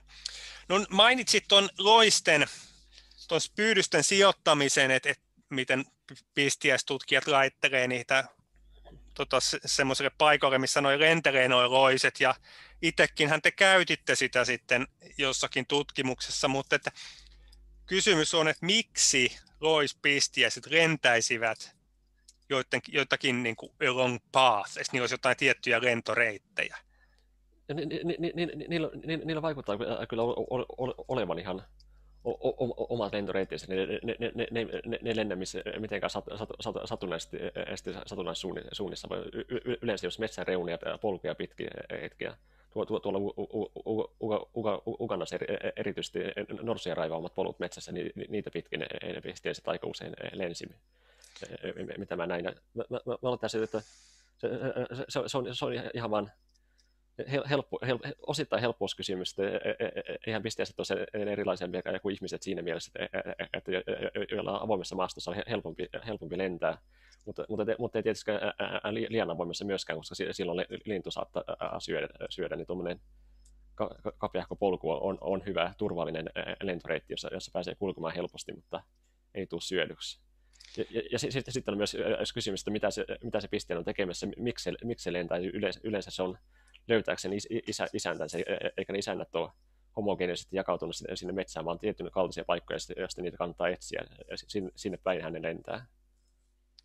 Niin joo, mä, mä mietin tota, sitä, että se kuoriutuessaan se loisen tehtävänä on etsiä, nehän ei ymmärtääkseni syö juurikaan mitään aikuisena. Jo, jo, jo, jo, joku, joku lait syö, mutta joku ei syö lainkaan. Joo niin silloin ne tehtävä on löytää joku rahopuu nyt sitten vaikka porapistiäisten tapauksessa, mihin, mihin tullaan, mm. ja mietin sitä, että onko se nyt sitten minkään polkuja pitkin lentely siihen niin kuin paras keino. I, I, I, aika ilmiselvästi porapisteisten mielestä, mielestä on. Että, onko, onko sulla siitä jotain dataa vai perustuuko tämä mutuun? Se, se perustuu siihen, että, että, että on tuijotellut siellä metsässä, että minne ne porapisteet lentää, missä ne kulkee. Eli dataa löytyy, mutta se on mun omassa päässä omina muistikuvina, eikä ole kovin hyvin tilastollisesti käsiteltävänä. Niin, eli se saattaa sitten tota, luoda tämmöisiä vääristyneitä kuvitelmia asioiden todellisesta luonteesta, mitä sitten tulevat tutkijapolvet niin kuin käyttävät, Joo. koska... Ja to, to, to, to, to, to, toisaalta, toisaalta me, me, meillä, meillä, me, meillähän on aika pitkä kokemus silloin, kun malespyydyksiä pystytetään, että, että jos sen pyydyksen pystyttää tie, tiettyyn paikkaan, niin si, siinä saa oikein ison aineiston, tulee paljon pistiä, jos sen pystyttää toiseen, toiseen paikkaan, niin ei tule läheskään yhtä paljon. Se, se, se ensimmäinen, minkä tuleva, tuleva nuori pisteistutkija oppii kokemuksen kautta, kautta on se, se, että, se, että jos, jos sen pyydyksen laittaa jonnekin, umpipusikkoon pusikkoon pois polulta, niin silloin ei tule läheskään yhtä paljon saalista. To, to, to, tosin ny, nykyään aika monet, aika monet vaan ottaa tuon itsestäänselvyytenä ja aloittaa sillä, sillä, että laittaa polkujen viereen, niin siitä, siitä helposti tulee, tulee, tulee sellainen kierre, että kaikki tietää, että näin nämä pyydykset kuuluu sijoittaa, ja sitten ne olettaa, että olet, ikään kuin sitä, sitä ei saa mitään aineista, joka, joka sotii sitä oletusta vastaankaan. Joo, joo kun mä mietin, että niin kuin sä oot koko ajan tuossa kuvannut, että kuinka heterogeenisiä noin malaisten mm. pyynit on, eli eikö toikin varmaan on semmoinen asia, että se pitää sitten isolla otoskoolla selvittää, että onko ne nyt siinä polulla yleisempiä kuin jossakin metsissä, eikä vaan niin kuin johonkin pienehköön muutaman malaisen niin kuin perusteella tehdä sitä johtopäätöstä. Mm. Okei, mutta sitten tiivistelmän lopuksensa nyt sitten sanot, että tässä olet vähän hehkutellut tätä malaisia ja muuta, niin, niin että our sample size was unexpectedly small, eli pieni otoskoko. Ja our data showed also that there is a rich ichneumoniid fauna. Eli voitko sä nyt, niin kuin, onko tässä mitään ristiriitaa, että poikkeuksellisen pieni otoskoko, mutta sitten osoitti, että on, on rich ichneumonic fauna? Ei, ei, ei, ei, ei, ei, ei, ei, ei, ei väistämättä. Se, se otoskoko oli, oli, oli pieni, mutta siitä pienestäkin otoksesta, eli vaan jo 1212 pisteestä, niin siitä, siitäkin näki, että, että, siellä on runsaasti lajeja vielä, vielä havaittavana. Meillä oli kokonaisen alaheima, josta löytyy vain yksi, yksittäinen yksilö. Ja tuostakin 1200 pisteisen otoksesta, niin siitäkin on kuvattu useita uusia lajeja ja lisää tieteellä uusia lajeja on löydettävissä. Niin. Joo, okei, okay. samaa mieltä. Öö, oikeastaan käsitelty. Tuokin. No joo, sitten tota, sivu 352, tätä mä mietin mm, tilastollisiin menetelmiin liittyen. Sä käytät paljon tätä terminologiaa, että niin kuin distance-based ja modeling-based approaches, niin pystytkö sä nyt kuvaamaan, että mikä se niin kuin fundamentaalinen ero näillä on? No se, se, se distance-based on pohjimmiltaan sitä, että katsotaan esimerkiksi kahden eri metsätyypin laistoja, sitten lasketaan yksinkertainen etäisy, etäisyysindeksi niiden välillä. Se, semmoinen yksinkertainen numero ero nollasta, nollasta yhteen, joka kertoo, että kuinka erilaisia nämä laistot on. Jos, jos ne laistot on täysin, täysin samat, samat lajit samoissa mittasuhteissa löytyy kummastakin, sitten se indeksi menee nollaan. Jos, jos siellä on lainkaan samoja lajeja, niin sitten se indeksi menee ykköseen ja, ja no distance-based methods, niin ne, ne kaikki perustuu siihen, siihen, että käytetään tämmöistä in, indeksiä, joka yksinkertaista analyysiä aika paljon. Sitten, sitten nämä modulin based on pohjimmilta semmoisia, että ne, ne ei käytä minkälaista yksinkertaista indeksiä, vaan, vaan katsoo niitä, niitä lajeja ja niiden mittasuhteita suoraan. Mikä sulla on vastemuuttujana noissa modeling based? si, si, si, siinä on pistiäisten määrä per määrä kussakin lajissa. Joo. Eli tota, ja sitten sulla on jotain selittäviä muuttujia kanssa tuossa modeling based, eikö? Mm, joo, tässä ensimmäisessä artikkelissa se on käytännössä metsätyyppiä aika yksinkertaisella karkealla jaolla, eli joko metsä tai hakkuaukea sen monimutkaisemmaksi ei edes tainnut juurikaan mennä. Joo, eli joo, no sit, niin, eli onko tässä nyt yritetty myydä tätä juttua tämmöisillä hienoilla yläkäsitteillä kuin distance-based ja modeling-based, kun siis ei, ei, ei, ei, ei, niinkään, vaan en, en, en, enemmänkin niin, että mä, mä, mä, mä olin, olin katsonut tämän 1212 pisteestä levitteestä, mietin, että miten tämmöistä aineistoa käsitellään, niin sitten me käytännössä heitettiin kaikki, kaikki eri menetelmät, mitä, mitä keksisi, että miten tätä käsitellään, katsottiin, miten ne menetelmät toimii. Joo, kun mä, siis, mä, se, siis mä hain just takaa sitä, että kun siis itse tottunut, että noi on niin kuin distance-based, niin jonkinlaisia similarity-indeksejä, ainakin sä kuvasit äsken niin kuin yhteisön samankaltaisuusindeksi, jolla joka se ekologinen kysymys on, että kuinka samankaltaisia ne yhteisöt on. Ja sitten taas toi ilmeisesti tämä sun modeling based niin on, on sitten taas tämmöistä ihan niin kuin tilastollista selitystä, explanation, eli inferential statistics, eli sulla on vastemuuttuja, joka on tässä tapauksessa nyt ilmeisesti lajimäärä, ja sitten on niitä ympäristömuuttujia, eli, eli tietyllä tavalla niin distance-based käytetään yhteisörakenteen analyysiin ja modeling-based käytetään lajimäärä tässä ensimmäisessä artikkelissa ei ehkä, ehkä niinkään lajimäärä, vaan sekin on niitä yksilömäärä kussakin lajissa, mutta se, se, se, se, se että miten, miten se tehdään, on, on, on erilainen. Siinä ei käytetä mitään etä, etäisyysindeksiä, vaan joka ikisellä lajille erikseen, erikseen yritetään arvioida, että onko niitä tilastollisesti merkitsevästi enemmän yksilöitä metsässä kuin hakkuaukeella. Joo. Joo, jotenkin vaan siis toi, toi niin oli tuo niin tilastotiedepohjainen tai menetelmäpohjainen jaottelu tuossa, niin se vaan, mä niin itse paljon mietin sitä, että olisi niin jotenkin selvempi ehkä, niin kuin, kun kyse on biologiasta, niin että olisi tehnyt se jaottelu niin kuin biologisten kysymysten mukaan, ja mulle mm, jäi niin kuin epäselvä teksti, että on, onko tässä niin kuin, nyt joku fundamentaalinen ero pohjimmilta ei, ei, ei ole mitään suurta eroa. Se, on enemmänkin, että meillä oli kysymys, josta oltiin kiinnostuttu, e, e, e, eli se, että onko, onko, onko, onko jotain lajia, lajia enemmän metsässä kuin hakkuaukeella tai, tai toisinpäin, ja sitten me käytettiin erilaisia tilastollisia menetelmiä käsitelläkseen tätä. Ehkä vähän liikaa innostuttiin, enkä että rehellisesti sanoen kaikki nuo tulokset, mitä tuossa saatiin, ne, ne, ne, on, ne olisi aika ilmiselviä ilman mitään tilastollista te- testiäkään. Joo, no, no on siltä tehtävänä. Että, joo, joo, sitten esimerkiksi toi modeling based, se kuulosti, sit mä, siksi mä vähän kuittarin tuosta myynnistä, koska mm-hmm. on niin lineaarinen regressiikin on, on modeling based. Mm. Tietyllä tavalla, mutta kuulostaahan se nyt hienommalta, että on tehnyt joku modeling based, kun ettei lineaarisen regression. Että...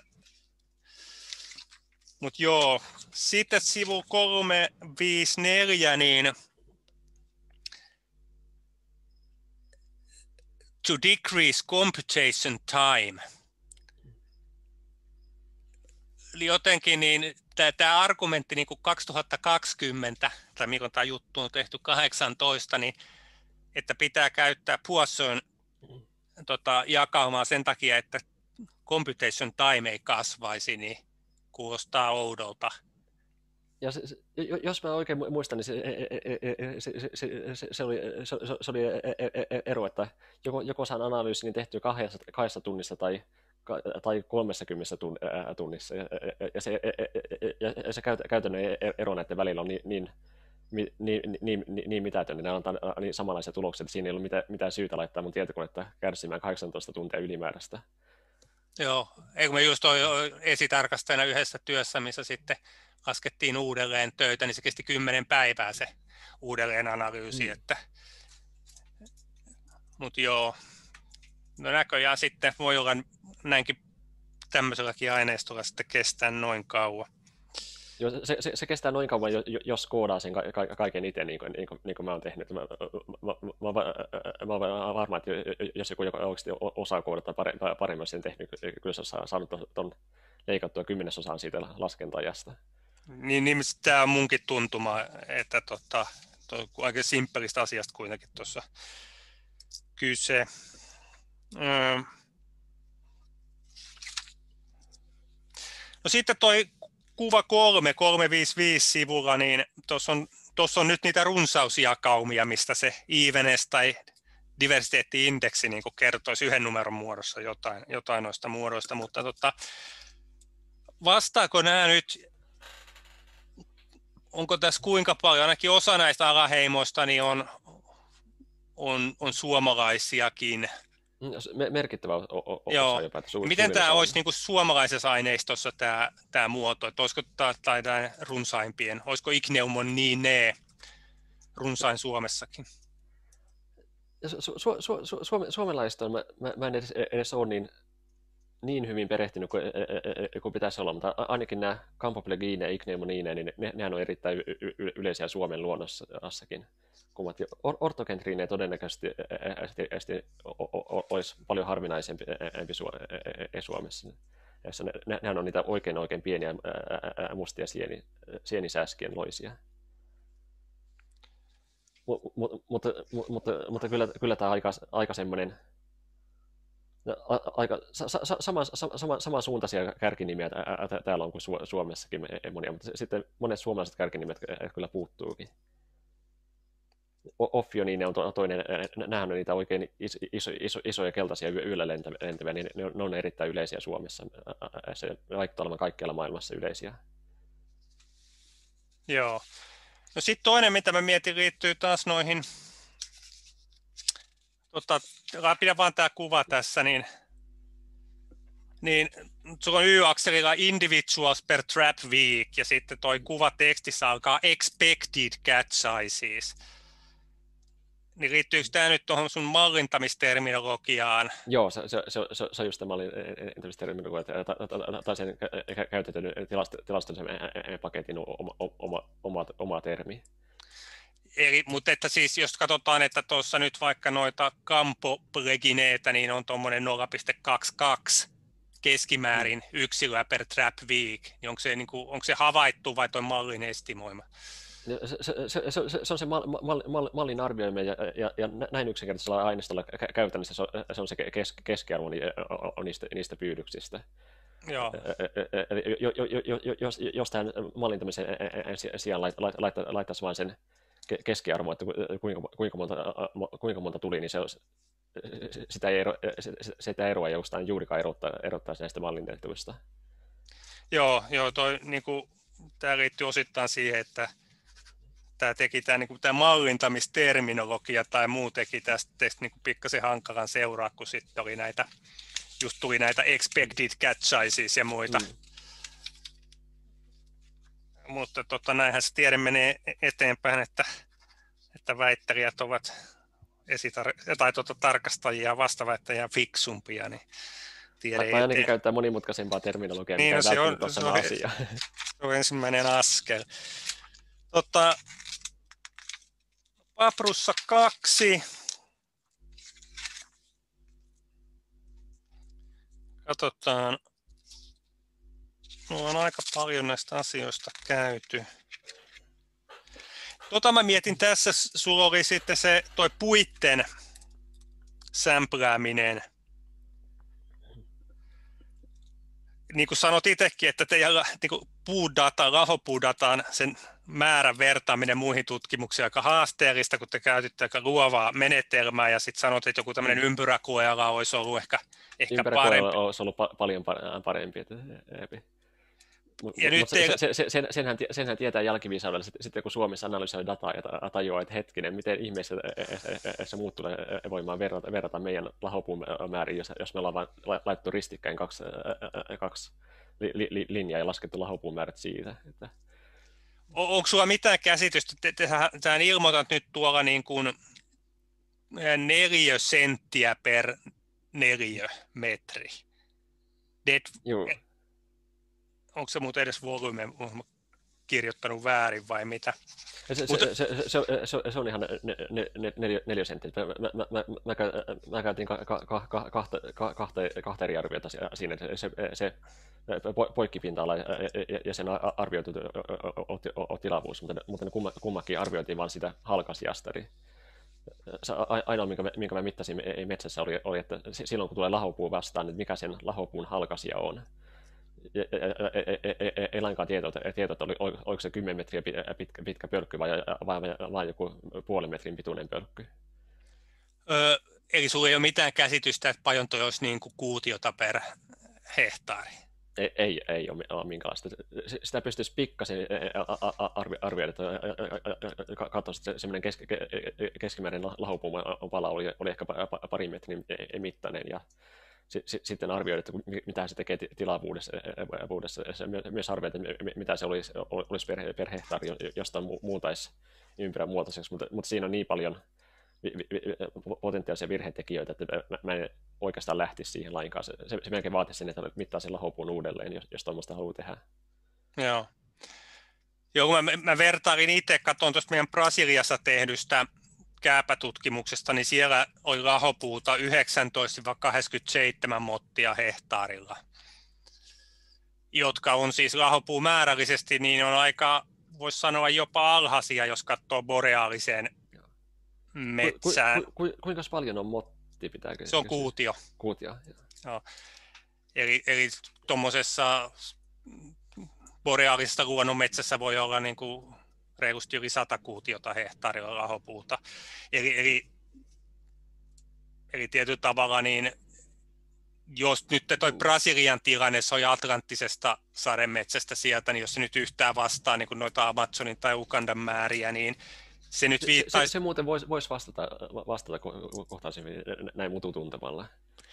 Niin, se viittaisi siihen, että itse asiassa lahopuu tilavuus ei trooppisessa metsässä ole välttämättä kovinkaan paljon mm. suurempi kuin Toki se on varmaan tropiikissa, että siellä kun yksi semmoinen iso puu jyrähtää nurin, niin siinä on heti niin kuin 20 kuutio hmm, lahopuuta niin kuin siinä yhdessä rungossa, mutta tota, variaatiota voi olla ehkä enemmän, en tiedä. Hmm. Ja, ja, ja, ja, ja toinen on tietysti se, se lahopuu, mitä, mitä löytyy ma, ma, ma, maanpinnalta, mitä mä olin olettanut, että suurin osa lahopuu löytyy sieltä mutta nyt toi artikkeli, jonka sä esitit aiemmin, aiemmin niin siinä, siinähän ilmaistiin, että lahopuut olisi enemmän siellä siellä ylempänä latvustossa, tai ainakin niitä lahopuussa niin. eläviä kuoriaisia, niin saattaisi hyvinkin olla, että trooppisessa metsässä, metsässä on paljon lahopuuta, se vaan, se vaan löytyy suuremmassa määrin sieltä latvustosta jossain. Mm. No joo, noita me ollaan käyty läpi. Miksi tuosta niissä analyyseissa huomioitiin vain se decay level 3? Siitä, syystä, että ne ykkös- ja, kakkostasat oli, oli aika huonosti asti määritelty. Miten se toimi siellä metsässä?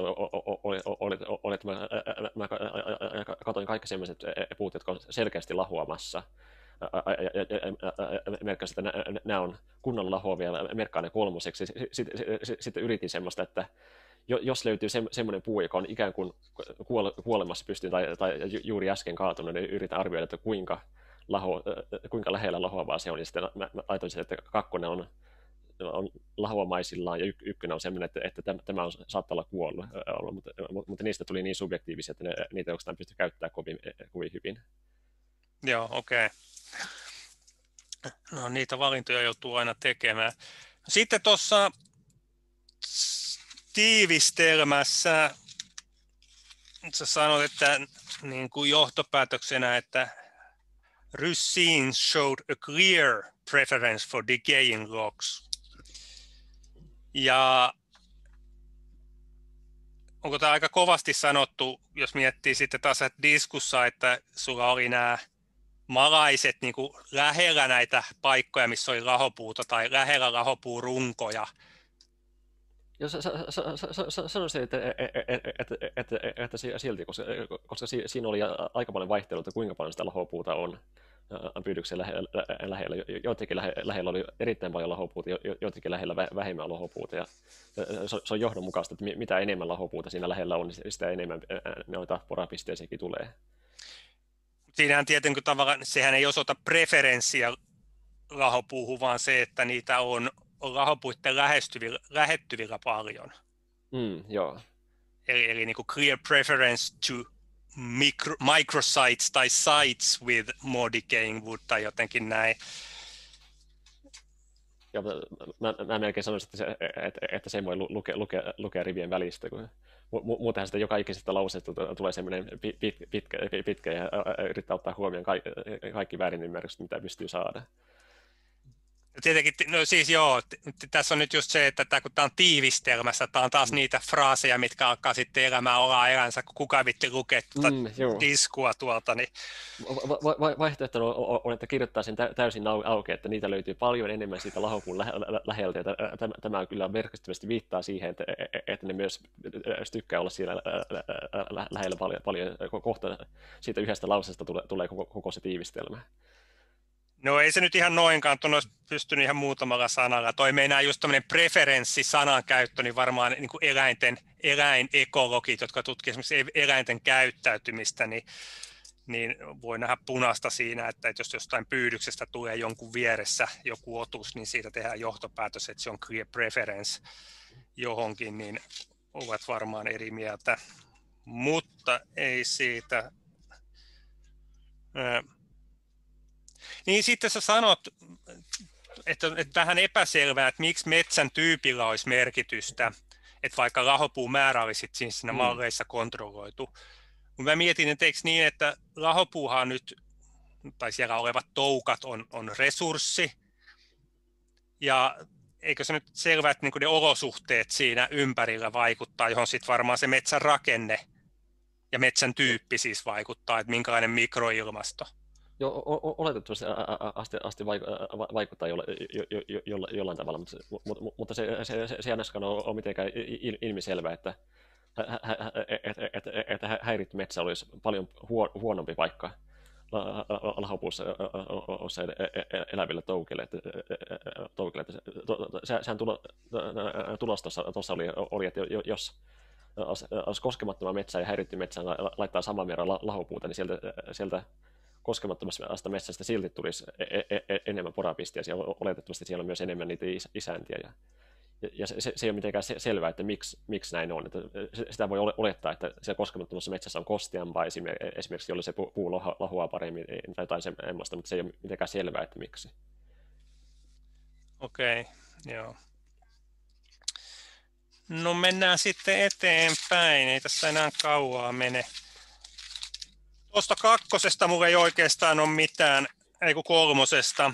Tämä ole sen enempää sanomista. Se oli mun mielestä, niin kuin, niin kuin sanoin, että oli hedelmällinen tämä taksonomia ekologia yhdistelmä, niin tämä ihan perustelee paikkaansa.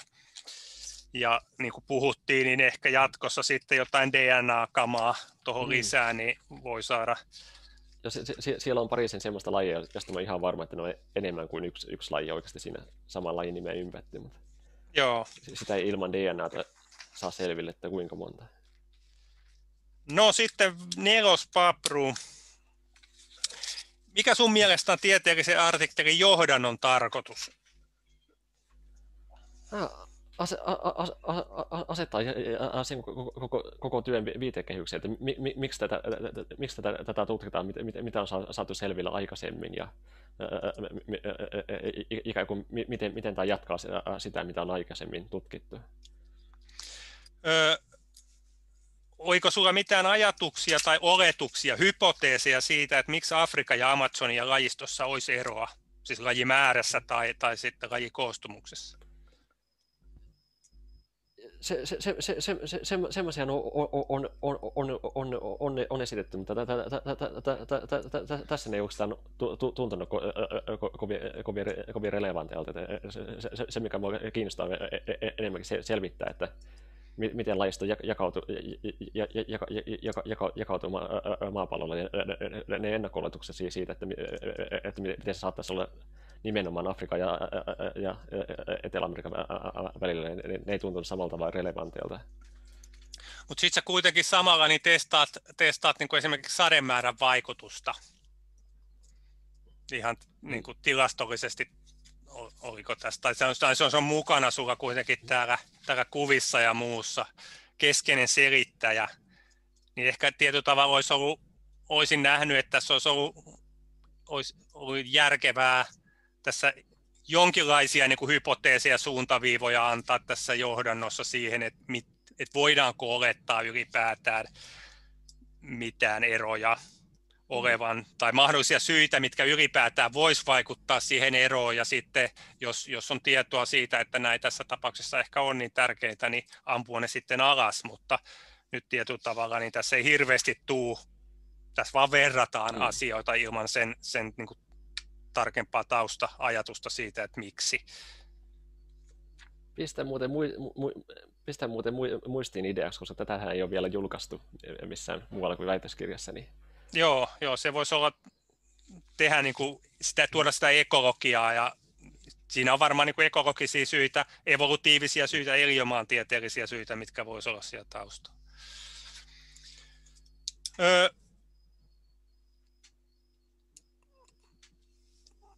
Niin, no sitten jos mennään tuohon sivuun, otetaan nyt noin. Sä puhut rarefaktiosta täällä sitten jossain, sivulla viisi. Mikäs on tota... Aikaisemmin taidettiin puhua akkumulaatiokurveista. Mikäs niiden ero? Onko niissä eroa? Käytännössä ne on, ne on sama asia, eli se, että kuinka monta, monta, monta lajia tulee, kun on kerännyt tietyn määrän pistiäisiä.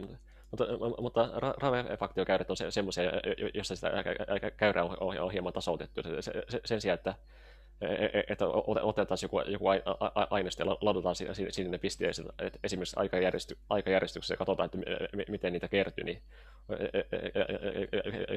kertyy, niin niitä pisteitä ladotaan x-akselille satunnaisessa järjestyksessä satunnaisessa monta kertaa. Sillä tavalla saadaan semmoinen keskimääräinen vauhti, millä niitä lajeja kertyy siinä alueessa niin kai se pääsääntöisesti on se lukusuunta, että rarefaktiossa niin kuin mennään sieltä oikeasta laidasta niin kuin orikoa kohti, kun taas akkumulaatiokäyrässä niin kuin se ajatus on mennä sieltä orikosta toiseen suuntaan.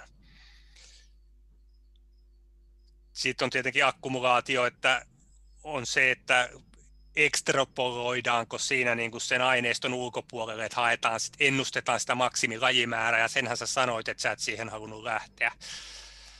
Eli mm. käytännössä nämä varmaan tässä nyt on sitten nämä akkumulaatio ja rarefaktiot on, on suunnilleen sama asia.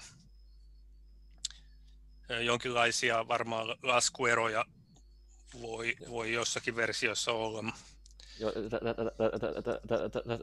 Tässä nimenomaisessa työssä ja tällä aineistolla ne on käytännössä sama asia. Joo. Vaan enemmän, että miten se käyrä rakennetaan ja yritetäänkö sitä, sen käyrän heilahteluita hieman tasoittaa, niin että saadaan keskiarvo tulos. Niin. Miten sulla on tuolla sitten Figure 3, x-akselilla individuals, mutta sitten sä aloitat sample-based? Joo. Joo, se, joo eli tässä, tässä on se, että x-akselilla kuinka monta yksilöä on tullut, y-akselilla kuinka monta lajia tuli. Se on, se on individuals, eli yksilöt näiden x-aksilla, mutta sample-based tarkoittaa vain, että silloin kun silloin kun, silloin kun näitä, näitä pisteitä on, on, on poimittu satunnaisen järjestykseen, satunnaisen järjestykseen tässä, niin on otettu kaikki pisteet, jotka kuuluu yhteen näytteeseen, näytteeseen yhtenä könttänä ja lisätty ne tänne x-akselille. Eli otettu ensimmäinen otettu yksi näytteestä ja huomata, että siinä on neljä pisteestä, niin merkattu, että on neljä pisteestä ja kaksi lajia merkattu se tuohon. Sitten otettu seuraava näyte, näyte on tullut yhteensä kymmenen pisteestä näin, näin, näin monta lajia, rakentaa se tuolla tavalla. To, to, to, toinen tapa, miten se, miten se voisi rakentaa, olisi, olisi että ottaisi kunkin pisteäisen yksitellen ja rupesi rakentamaan, sitä, rakentamaan niitä käyrän pisteitä kunkin pisteeseen kohdalle, sen sijaan, että rakentaisi kunkin näytteen kohdalle. Joo, eli sä oot niinku vähän muuttanut tuota filosofiaa, kun siellä oliko se nyt se ykköspaperi, missä oli, missä oli niinku, sä halusit tehdä individual based. Että sä saat tehnyt sample based, mutta sä oot vaan laittanut sitten x-akselille ton yksilöt. Joo. Joo, okei. Okay. sitten tarviko pitää tauko? Tässä ei hirveästi mene enää, ehkä 10 minuuttia. Mun puolesta ei, ei, ei välttämättä tarvitse tässä vaiheessa. Joo, okei. Okay. Ei munkaan. Ja Kustos ei ole varmaan nukahtanut vielä ainakaan. Öö, no, si- Kustos on hereillä täällä näin. Hyvä, pysy vielä vähän aikaa. Öö, sä kontrolloit tuota saren määrää, mutta jos me ajatellaan, että lajisto tai lajit on sopeutunut niihin olosuhteisiin, mitä niin kussakin paikassa on, niin voiko se johtaa johonkin virhepäätelmiin se, että se niin kuin verrataan sademäärällä kontrolloituja yksi se, lajimäärä? Sanoisin, että tässä asiassa yhteydessä ei, ei, ei, ei, ei, ei, ei oikeastaan. Se, se, se mun tärkein syy, miksi huomioon sademäärä oli, jos selvittää, että, selvittää, että miksi Amazonissa tai Perun Amazonissa tuli niin paljon vähemmän yksilöitä valespyydyksiin kuin, kuin Ugandassa. Ugandassa. Sitten vaan, vaan katsoin, että Amazonissa sataa enemmän Ugandassa, Ugandassa ainakin suurimpi sademäärä on, on tiputtanut pisteessä oli reilusti. Osti, osti, niin, tässä on tarkoituksena osoittaa, että että se suurempi sademäärä Amazonissa voisi olla se selitys sille, että miksi siellä tulee pyydyksiin vähemmän pistiäisiä. Sillä sen kummempaa, kummempaa haeta takaa. Okei. Okay.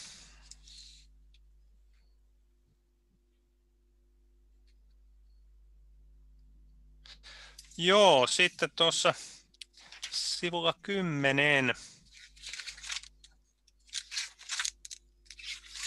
kirjoitat, että species accumulation slower in Uganda despite higher evenness. voiko verrata, niin kuin jos ei perussa olla lähelläkään niin kuin sitä asymptoottia,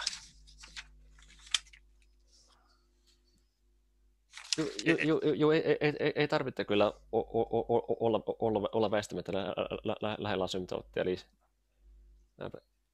palaan sinne, sinne kuva, kuvaan. Tässä, on nyt ne Perun ja Ugandan lajikertymiskäyrät. Eli, eli täällä että silloin kun 15 yksilöä saatu saaliksi, niin Ugandassa on tullut ehkä noin neljä lajia. Perussa on, tullut ku, kuusi lajia. Ja se, on, se on aika saman tekevä, että ollaanko päästy lähelle asuntoa, eli ollaanko saatu lähe, lähes kaikki lait saaliiksi. Se, se, se, mitä tässä huomataan, on vain, että perussa kertyy, kertyy paljon nopeammin lajeja, ja, ja, että jos saa saman verran yksilöitä, niin sitten tulee enemmän, enemmän lajeja. Se, se on merkki siitä, että siellä todennäköisesti on myös niitä, niitä lajeja enemmän. Ja joo, no se, se oli hyvin, hyvin se.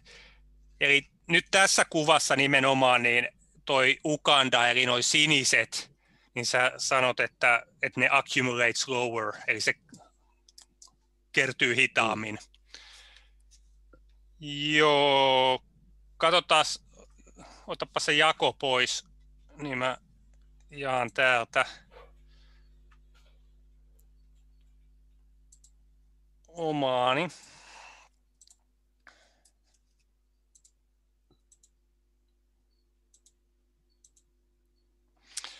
Mitä sä sanot tästä kuvasta? Tässä nyt on pinta-ala ja lajimäärä, mutta siis sa- samanlaisia käyriä. Onko tässä nyt niin kuin eroa tässä accumulate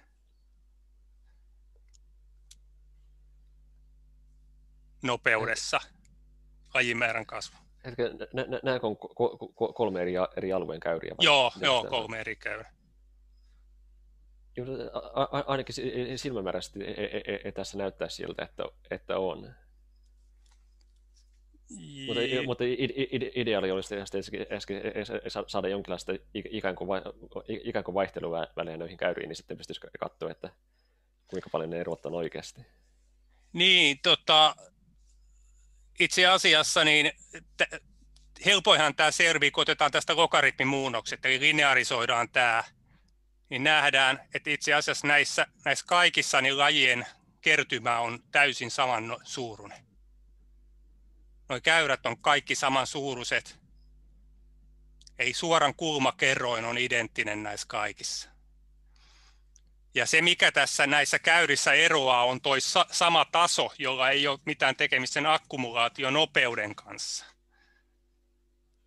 Eli tietyllä tavalla niin nyt, kun mä katsoin tuota sun kuvaa neljä, niin tuosta kuvaa tulkitsemalla niin kun ei mä nyt äkkiseltään pysty sanomaan, että onko niiden akkumulaationopeudessa eroa.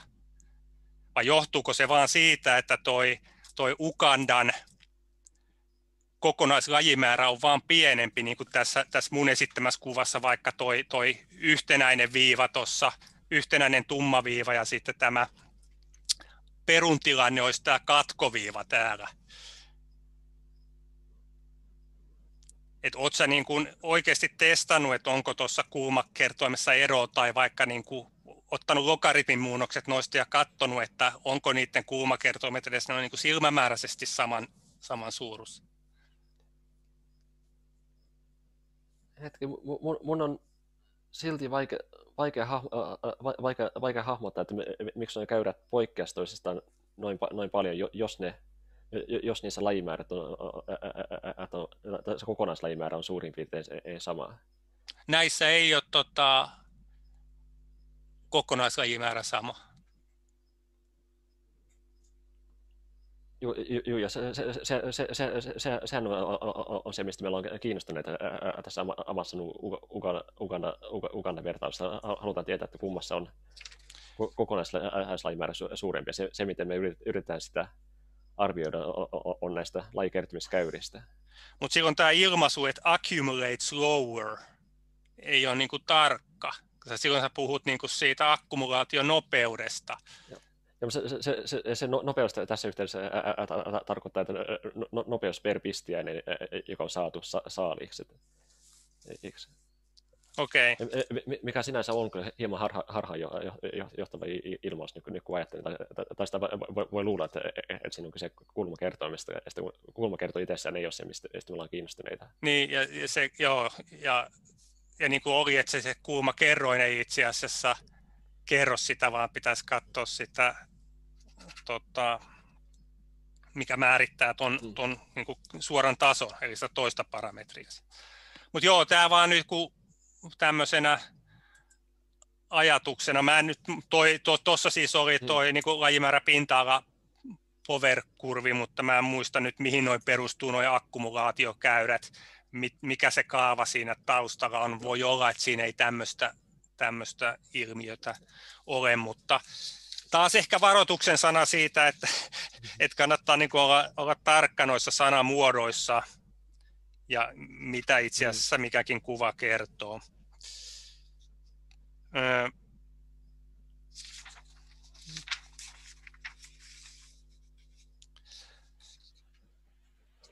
No joo.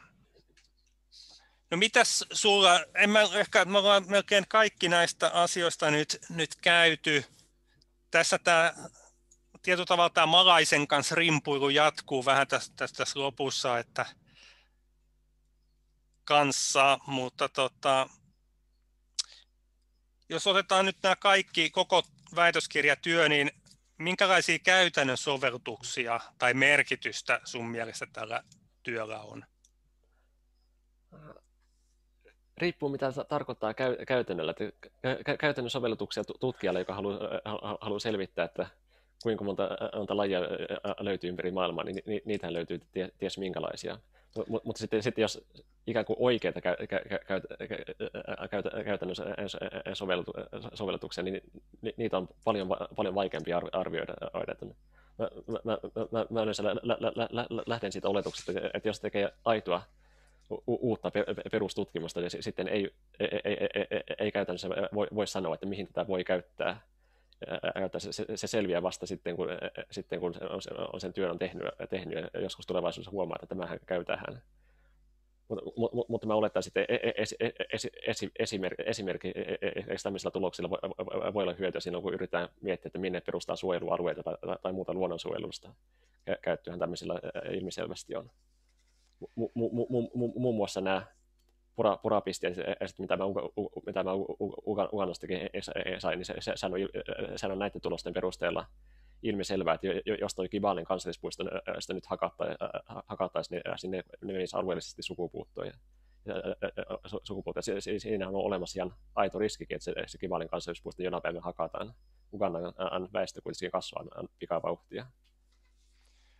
Okei, no mikä se olisi tärkein asia tai yksi asia, minkä tekisit toisin nyt?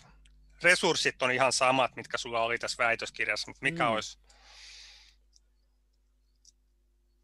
ja miettisin tarkemmin, että minne päin metsää mä, mä ne pyydykset, pyydykset laitan.